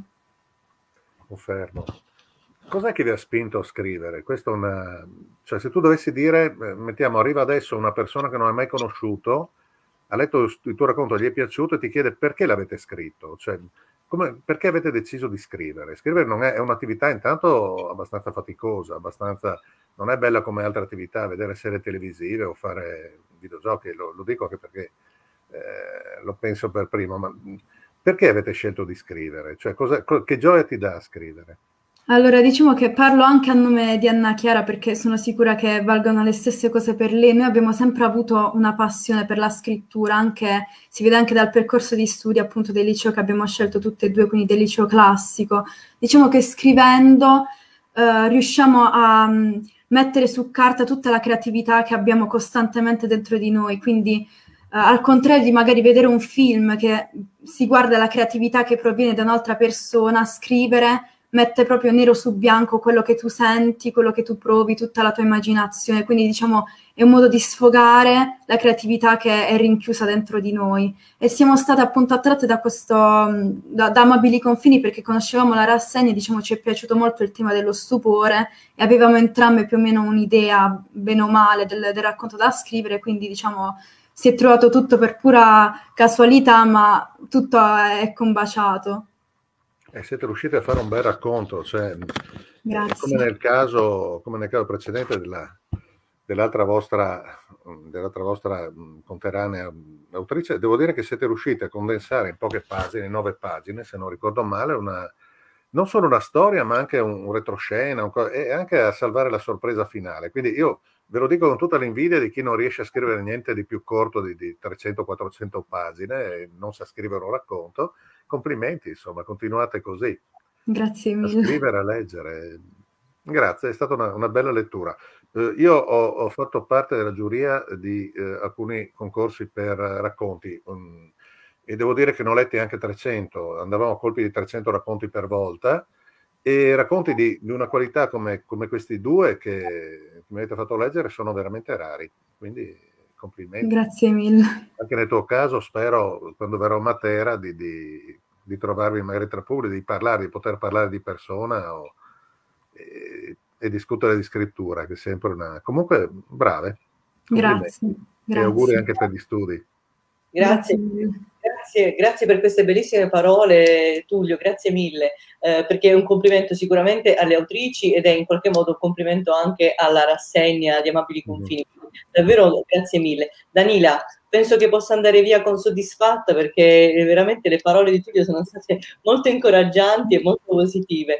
Eh, sì. io come rappresentante di Amabili Confini ti ringrazio per aver partecipato alla nostra rassegna. Grazie Ovviamente, dare i nostri ringraziamenti, i nostri saluti ad Anna Chiara che so che ha qualche problem- problemino di salute, quindi non è potuta eh, essere qui con noi stasera. E sper- speriamo di, di incontrarci ancora eh, l'anno prossimo con altri racconti scritti da te, Anna Chiara, o singolarmente da ciascuna di voi. Grazie, buona serata. Grazie mille, buona serata. Ciao. Bene, adesso noi facciamo un breve intermezzo musicale. Lanciamo questa io nuova. Io non so suonare, non so cantare, però. Eh? No. no, no, infatti noi, io neanche, sono pessima. Okay. Dobbiamo soltanto ascoltare. Allora Ascoltiamo la, una canzone che ci, propone, che ci, propone una nostra amica, un'amica di Amabili Confini che si chiama Rita Zingariello, eh, che ogni settimana ci proporrà alcuni dei, suoi, eh, de, alcuni dei brani del suo repertorio. Rita Zingariello, lo ricordo, è nata gravida in Puglia ma vive a Matera. Nel 2012 vince il contest musica e nello stesso anno i tre vincitori di Sanremo Rock. Da allora si afferma come cantante, eh, come raffinata autrice di testi e compositrice e nel 2018 eh, esce con un suo disco che si chiama Il canto dell'ape che riceve apprezzamenti unanimi. Ascoltiamola.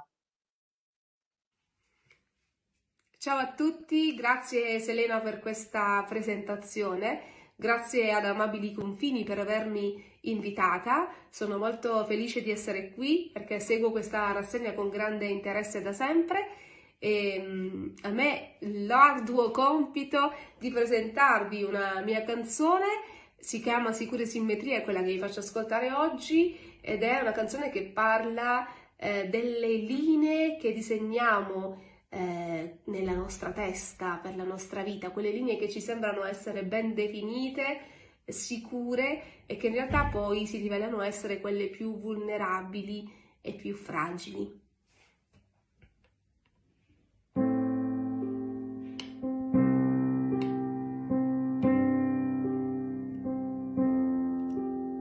Più sali, più l'equilibrio si fa instabile, avevamo perso il senso dei nostri occhi belli.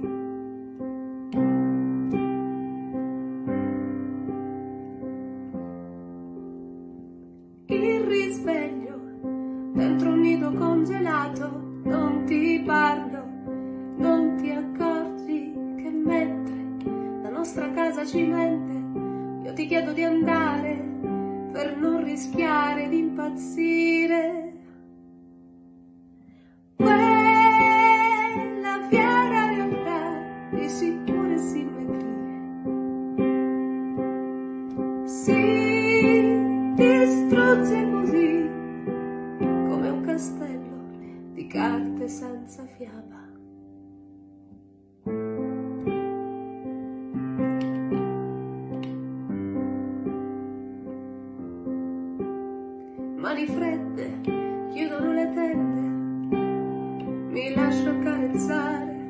Come non ho fatto mai i rimorsi.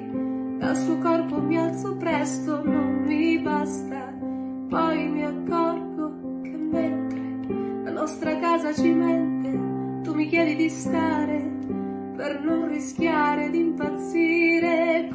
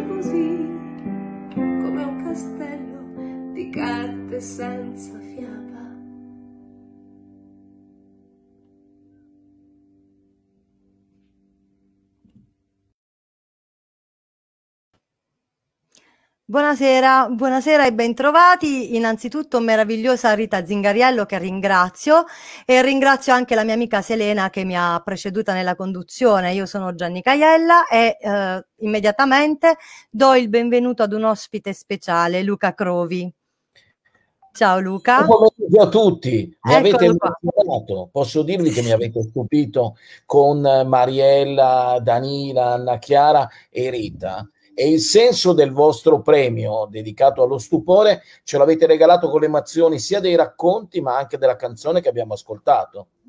Beh sì, devo dire che è veramente profonda sia nel, nei testi e che poi talentuosa nella interpretazione dei testi stessi, Rita.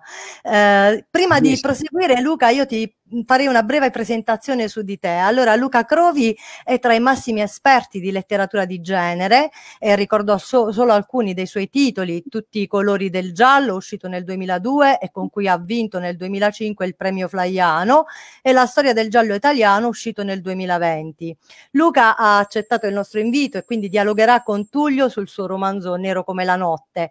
Uh, prima di darvi la parola e quindi di lasciarvi chiacchierare, uh, ascoltiamo un brano tra tratto dal romanzo, è letto da Marilena Pietricola, una studentessa del liceo classico Duni di Matera, che ha aderito al progetto di alternanza scuola-lavoro realizzato dalla nostra associazione ed è stata per noi una vera e propria rivelazione per le sue doti di scrittrice e la sua spiccata inclinazione per la recitazione. Quindi ascoltiamo il brano di Marilena.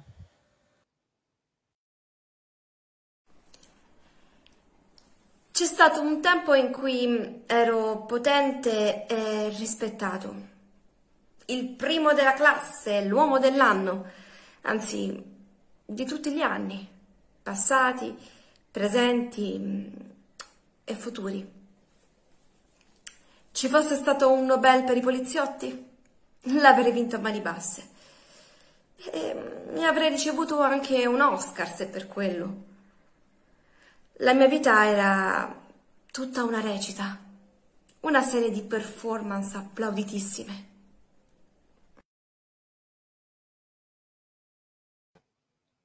Allora, grazie a Marilena per la sua magnifica lettura e ora passo la parola a Luca Crovi e a Tullio Avoledo che lascerò chiacchierare e tolgo, tolgo il disturbo io.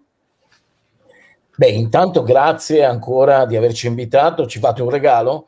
Nel senso che io e Tullio continuiamo a, a mandarci WhatsApp e a raccontarci passioni letterarie e musicali, però oggi ci avete regalato la musica e la letteratura che per noi sono due mondi meravigliosi e ci avete fatto rincontrare a distanza. L'ultima volta ci siamo visti a Pordenone, eh, io ho i nonni di là, ma Pordenone Legge è un appuntamento fisso dove io e Tullio ci incontriamo e io quest'anno posso dirvi che ho avuto la fortuna di essere uno dei primi a intervistare Tullio per Nero come la notte mm. ed essere stato uno di quelli che gli ha potuto dare il premio Scerbanenko. Per cui oggi potervelo raccontare ad amabili confini è un regalo incredibile. La sua è una storia di confine con un personaggio che, come Mariella diceva prima, nelle prime pagine Sergio Stocar sembra insopportabile, antipatico, gli daresti un pugno per non dire qualcos'altro. Eppure quest'uomo dall'apparenza razzista è quello che comprende meglio la situazione multietnica nella quale si troverà. Allora, Tullio, ci racconti com'è nato Nero come la notte ed è vero che sono stati complici nella nascita una canzone del cantante dei Noir Désir da una parte e dall'altra tua moglie che ti ha fatto vedere una rivista? Sì, eh, è un piacere ritrovarti Luca, speriamo di farlo in presenza prima o poi.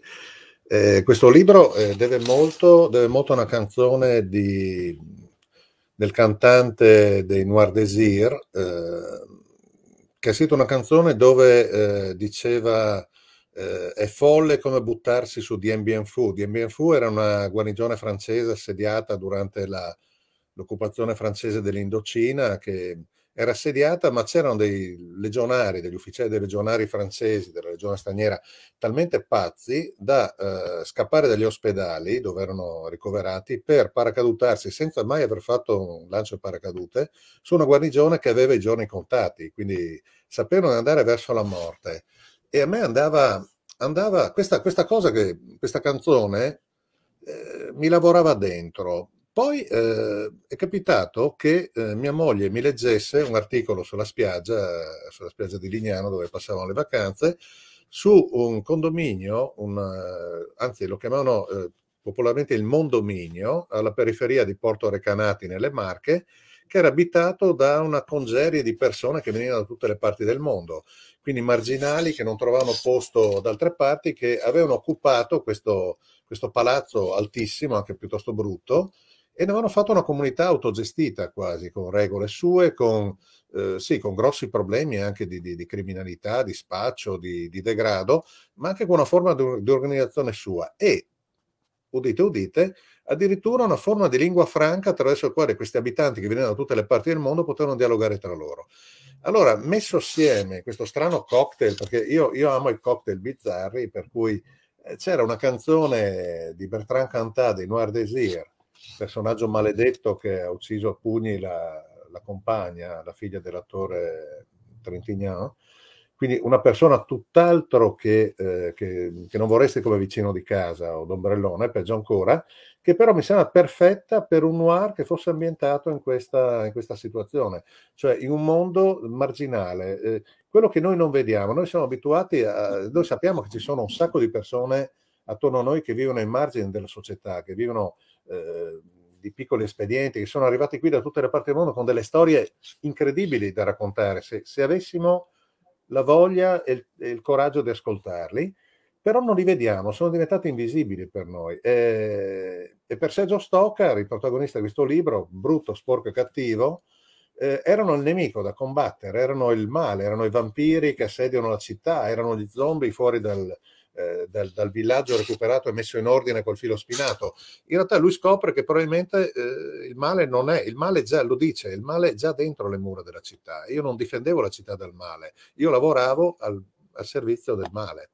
È nato da questo, è nato da, strano, da, una strana coincidenza, come tutti i miei libri del resto. E, e tra l'altro, il personaggio possiamo dire che si sente accolto dalle zattere, da questo mondo multietnico, nel senso che viene lasciato lì, abbandonato, imbottito di alcol, droga, eccetera, in modo da poterlo eliminare per sempre, e invece questo posto gli dà una ragione di vivere. Lo trasforma in uno sceriffo, ma gli fa anche venire voglia di combattere e di sopravvivere in un altro modo, cosa che probabilmente nella città dalla quale viene non avrebbe fatto. La città da cui viene è una... Io vengo da Pordenone, vivo a Pordenone, è una città leggermente trasfigurata. A me piace sempre descrivere un mondo leggermente spostato rispetto al nostro. Un mondo un po' più a destra, un po' più a sinistra del nostro, ma eh, che abbia dei connotati non, non, da fantascienza o da fantasy, ma la Pordenone che descrivo è in buona parte il, il frutto della mia visione della città. È una città che è stata ricca in passato, è stata una città trainante del, della, famosa, del, famosa, locomotiva del nord-est, attualmente è una città in rovine, come, come, quella di cui canta Bruce Springsteen in una delle sue belle, delle sue belle canzoni, My City in Ruins. ed è questo che io vedo. Io, io, provo tenerezza, provo amore, provo rabbia per, per, quello che è stato della mia città. Una città eh, che è quella che descrivo nel mio libro e che molti dei suoi abitanti si rifiutano di vedere, almeno giudicare da, dai politici che eleggono i posti di comando. Non vogliono vedere che la nostra città non è più la città sana di una volta, la città dinamica, la città che ha una forza propulsiva, ma una città malata. Credo che il primo passo per guarire sia, sia rendersi conto di avere, di avere, una malattia, come per un alcolista, il primo passo è ammettere che sia un problema. Eh, la mia città ancora non ha ammesso di essere malata e con questo libro ho cercato di, di di dire quella che è la mia visione. È una visione da un lato pessimista, da un lato ottimista. È una città che è, è ricca apparentemente perché ci sono più immatricolazioni di auto di lusso che, di quanto avvenissero in passato, però è una città in cui ha queste auto di lusso che possono essere Porsche, Jaguar, Maserati, c'è stata una concessionaria che ha venduto più Maserati di, di, di Fiat Panda, eh, però a fianco a queste ci sono le auto smarmitate, le auto senza il bollo, senza l'assicurazione, che non sono più solo quelle degli immigrati, sono anche quelle degli abitanti della città. Quindi una città che eh, unisce grandi ricchezze a grande povertà, una città di contrasti e Sergio Stoker ehm, capisce che il male non è all'interno di questa comunità di reietti periferica che, che la città quasi non vede, ma, ma, il male è radicato nella città e, e, e alle zattere, questa comunità in cui si rifugia, che non è, è tutt'altro che idilliaca. E io volevo un protagonista che fosse prevenuto nei confronti di, questa, di queste persone che la abitano, ma è una città in cui ci sono anche spazi di bene, di meraviglia, di, di,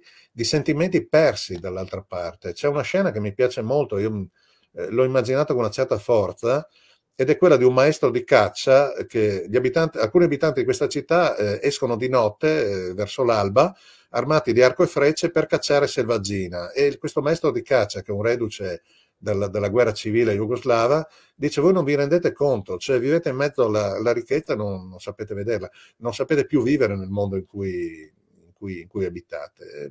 È un romanzo, credo, ricco da quel punto di vista, cioè il confronto tra la città dei buoni, la città dei cattivi, la città dei reietti, poi alla fine c'è un'inversione di ruoli. E Sergio vive questo e, e cambia nel corso del libro. Senti, ma perché secondo te utilizzare uno stile come quello del fantanoir o della distopia è più efficace per raccontare queste storie piuttosto che non fare un romanzo ambientato nella realtà? Cioè i contrasti che tu racconti che sono nel presente, utilizzando questo romanzo di un mondo possibile, di una città possibile, di una città credibile che travesti ma che è riconoscibile, funziona ancora di più si può in, un certo senso dire che i corticircuiti dentro a quel tipo di narrativa si presentano in un altro modo, sorprendono e spaventano ancora di più, perché quando uno chiude il tuo romanzo non è tranquillizzato, anzi ha ancora di più paura delle situazioni che sta vivendo nel presente.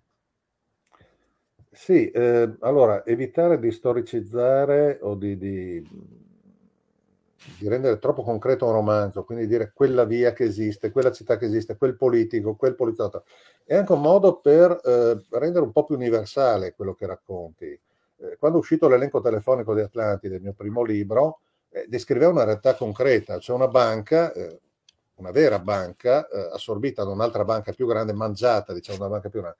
Però alcuni eh, lettori mi hanno detto: no, no, tu volevi descrivere in realtà quello che ho provato io alla Telecom, si può dire? Alla Vodafone, alla Fiat, alla Pirelli, alla Magneti Marelli. E quindi mi dicevano, eh, tu hai descritto in realtà un qualcosa che è universale. Allora, questo è possibile, questo scarto, questa identificazione è possibile se non rendi troppo concreto e troppo legato alla realtà quello che descrivi. Eh, io ho avuto una lezione, la, la più bella lezione di, di, di, come si scrive un romanzo, chiamiamo con tendenza all'universale, non diciamo romanzo, L'ho avuta da Gene Nisbet, che è un giallista americano. Eh, ci siamo trovati abbandonati dagli organizzatori di un festival a cena abbiamo parlato. E ho detto, ma Jim, com'è che quando io leggo il tuo romanzo, io sono italiano, sono nato nel, nel 57, i tuoi romanzi sono scritti negli anni 90, ma io li, io li vedo come se fossero scritti adesso e riesco ad, ad identificarmi. Ho detto, avrei notato, mi fa, che io non descrivo mai, non, non uso mai i nomi, le marche dell'auto, eh, non uso mai le marche di un prodotto, non dico la Coca-Cola, la Diet Coke, dico una bibita gassata, perché suppongo che anche tra cent'anni le bibite gassate eh, esisteranno. Suppongo che se io dico una macchina decapotabile rossa, non... e quindi è come se è, è il grande vantaggio che abbiamo noi scrittori rispetto ai cinematografari, ad esempio, è quello che eh, le nostre opere teoricamente non invecchiano. Madame Bovary la legge adesso come la potevi leggere cent'anni fa perché ci metti di tuo. Io scommetto tra mille anni Madame Bovary sarà letta da, da, robot magari che la vedranno come un robot, oppure la vedranno sullo sfondo de, degli anelli di Saturno.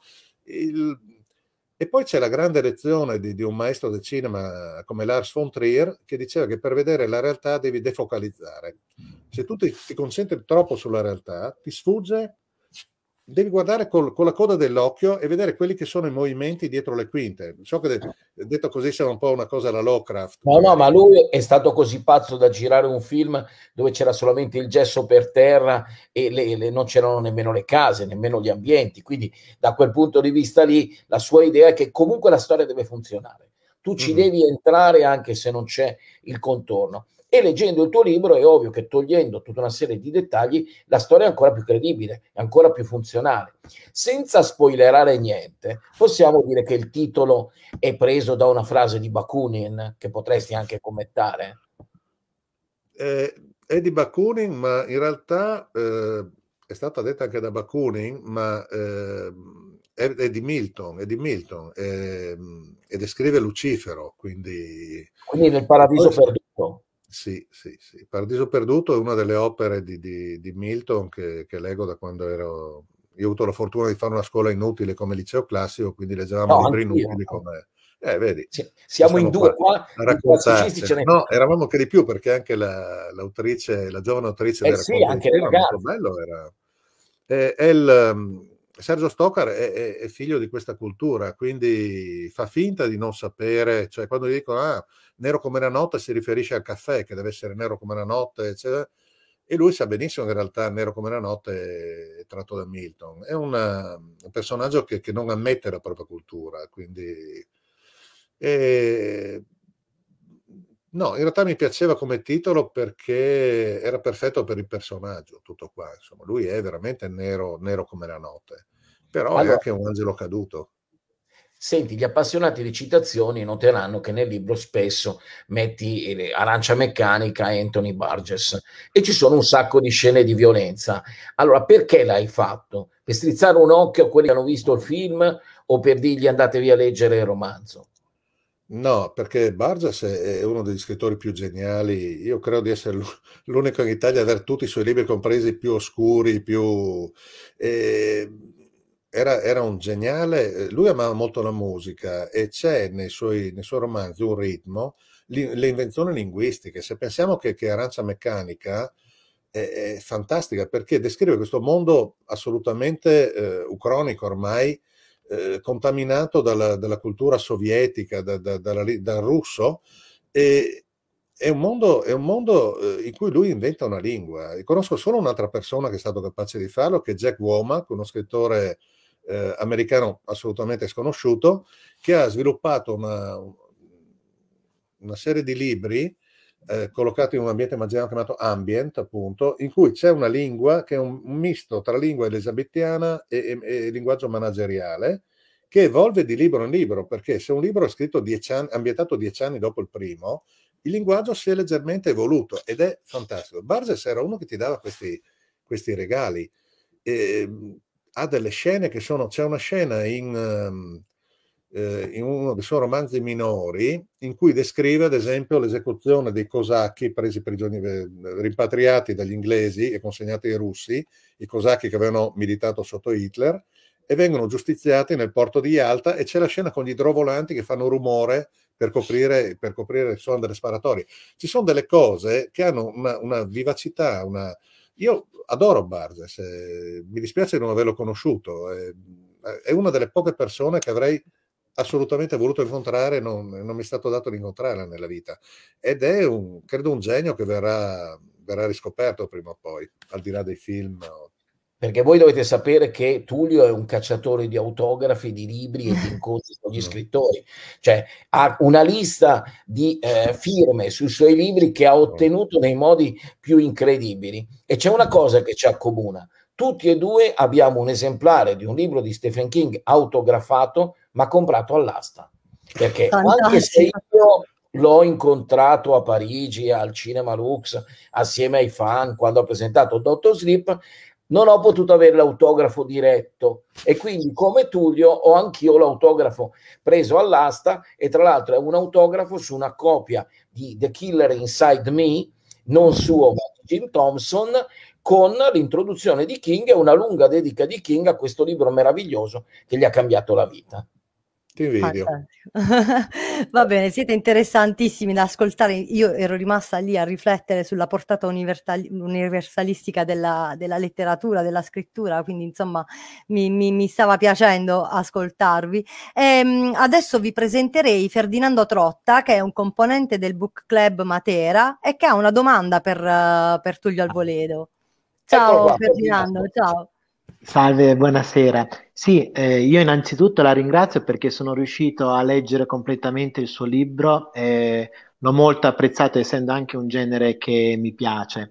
Riguardo al suo libro, eh, avevo una domanda perché nel suo libro alla fine lei parla del protagonista Sergio Stockar come un, una persona che comunque affronta una specie di percorso dall'inizio alla fine. Alla fine lei diceva, si diceva lo odiamo, però man mano cominciamo a ritrovarci in alcune sue cose, quasi a, a immedesimarci in lui. Quindi lui affronta questo percorso di redenzione in un mondo che però ha perso molti valori o comunque vive i valori dell'accoglienza, dell'inclusione in modo molto sbiadito.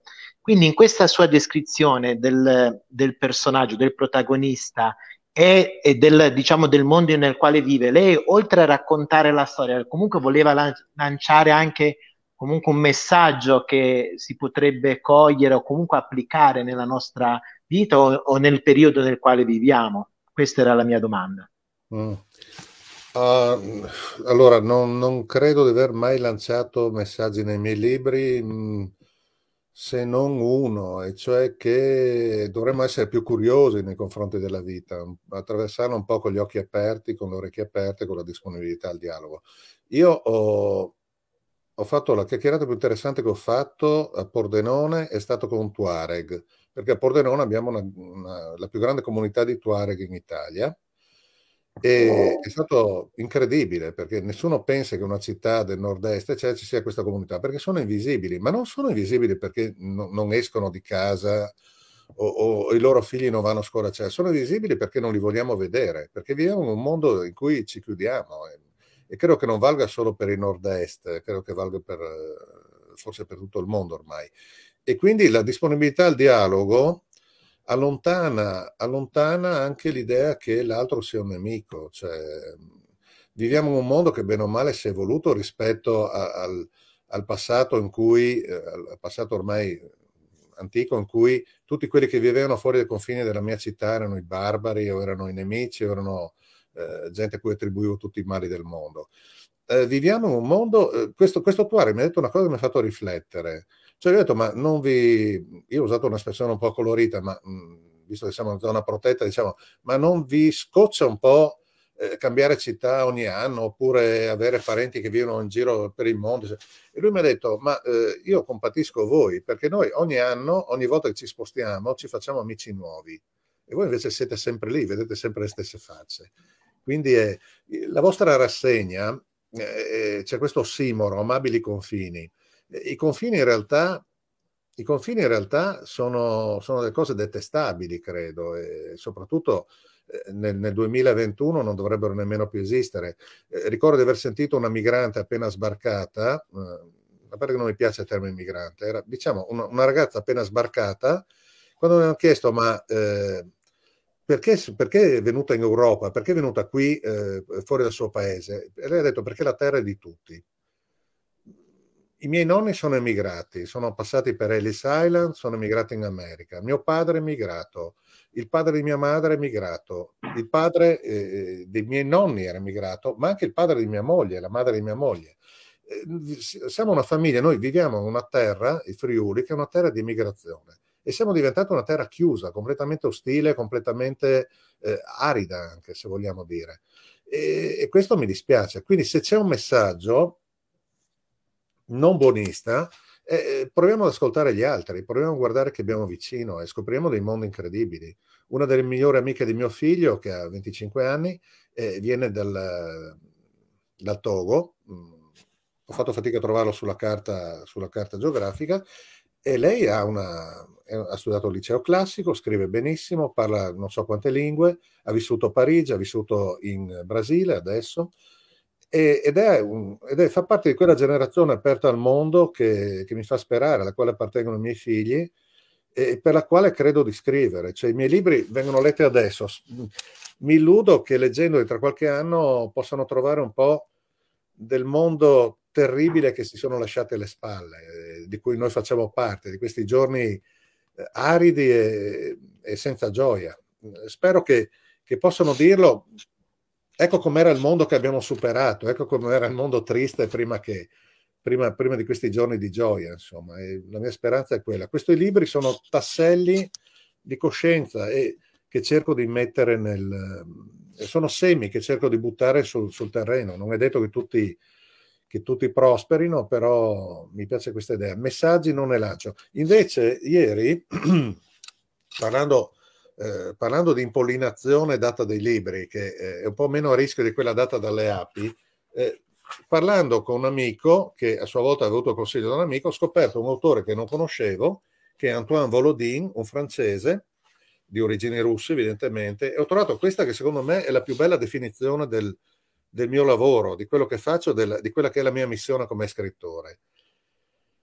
Dice, chiamo qui Narrat, il, questo mondo immaginario, i Narrat, sono 49 immagini organizzate su cui si fermano nella loro erranza i miei mendicanti e i miei animali preferiti, nonché qualche, qualche vecchia immortale. Almeno una di loro è stata mia nonna perché si tratta anche di minuscoli territori d'esilio dove continuano a esistere, bene o male, coloro di cui mi ricordo e coloro che amo. Chiamo narrat dei brevi brani musicali, la cui principale ragione d'essere è proprio la musica, ma anche luoghi in cui coloro che amo possono riposarsi un istante prima di riprendere il cammino verso il nulla. Quindi quello che faccio con i miei libri è questo, cercare di dar vita e di, di mantenere vivi questi anni terribili ma anche, ma anche luminosi, per certi aspetti, le persone belle e le persone brutte che incontro. È un modo di, di consegnarle al tempo e, al, e, spero anche ai lettori che verranno in tempi più felici di questi. Quindi grazie per la domanda. E, penso di essere andato fuori, completamente fuori tema, però... Eh, no, no, è stato esauriente, grazie mille. E io ringrazio te Ferdinando per il tuo intervento che appunto ha dato occasione a Tullio di, di fare queste riflessioni meravigliose eh, proprio sul, sul suo, sulla sua missione di scrittore e su questa, uh, questa, questa, parola apertura mi è rimasta nella mente e sta continuando a, riacher- a riecheggiare nei miei pensieri. E a questo punto uh, introdurrei un altro momento di ascolto, un altro brano tratto sempre dal romanzo Nero come la notte, sempre letto e interpretato dalla talentuosa Marilena Petricola. Alle prime luci dell'alba mi ero svegliato in un letto sfatto che non era quello del mio albergo. Il mio braccio bianco giaceva su una schiena scurissima, come un naufrago su una spiaggia deserta. Voltandomi a sinistra trovai dei capelli biondi, una frangia scomposta che rivelava giovani palpebre immerse nel sonno. Il mio corpo era nudo, pallido, segnato da lividi e puzzavo. parole intense e pronunciate in modo intenso ed eccoci purtroppo giunti al termine di questo eh, nostro primo incontro e ringrazio di cuore veramente Tullio Avoledo e Luca Crovi eh, per la loro disponibilità e per la loro generosità e ringrazio anche tutti gli ospiti che sono intervenuti durante la diretta e ovviamente tutti voi che ci avete seguito. E con questo vi do appuntamento al 27 maggio con le nostre rubriche il secondo ospite di Amabili Confini che sarà Alessandro Mari e vi ricordo anche che è possibile rivedere questo incontro avvenuto oggi sulla pagina Facebook di Amabili Confini. Okay. Buona serata. Ciao. Ciao a tutti.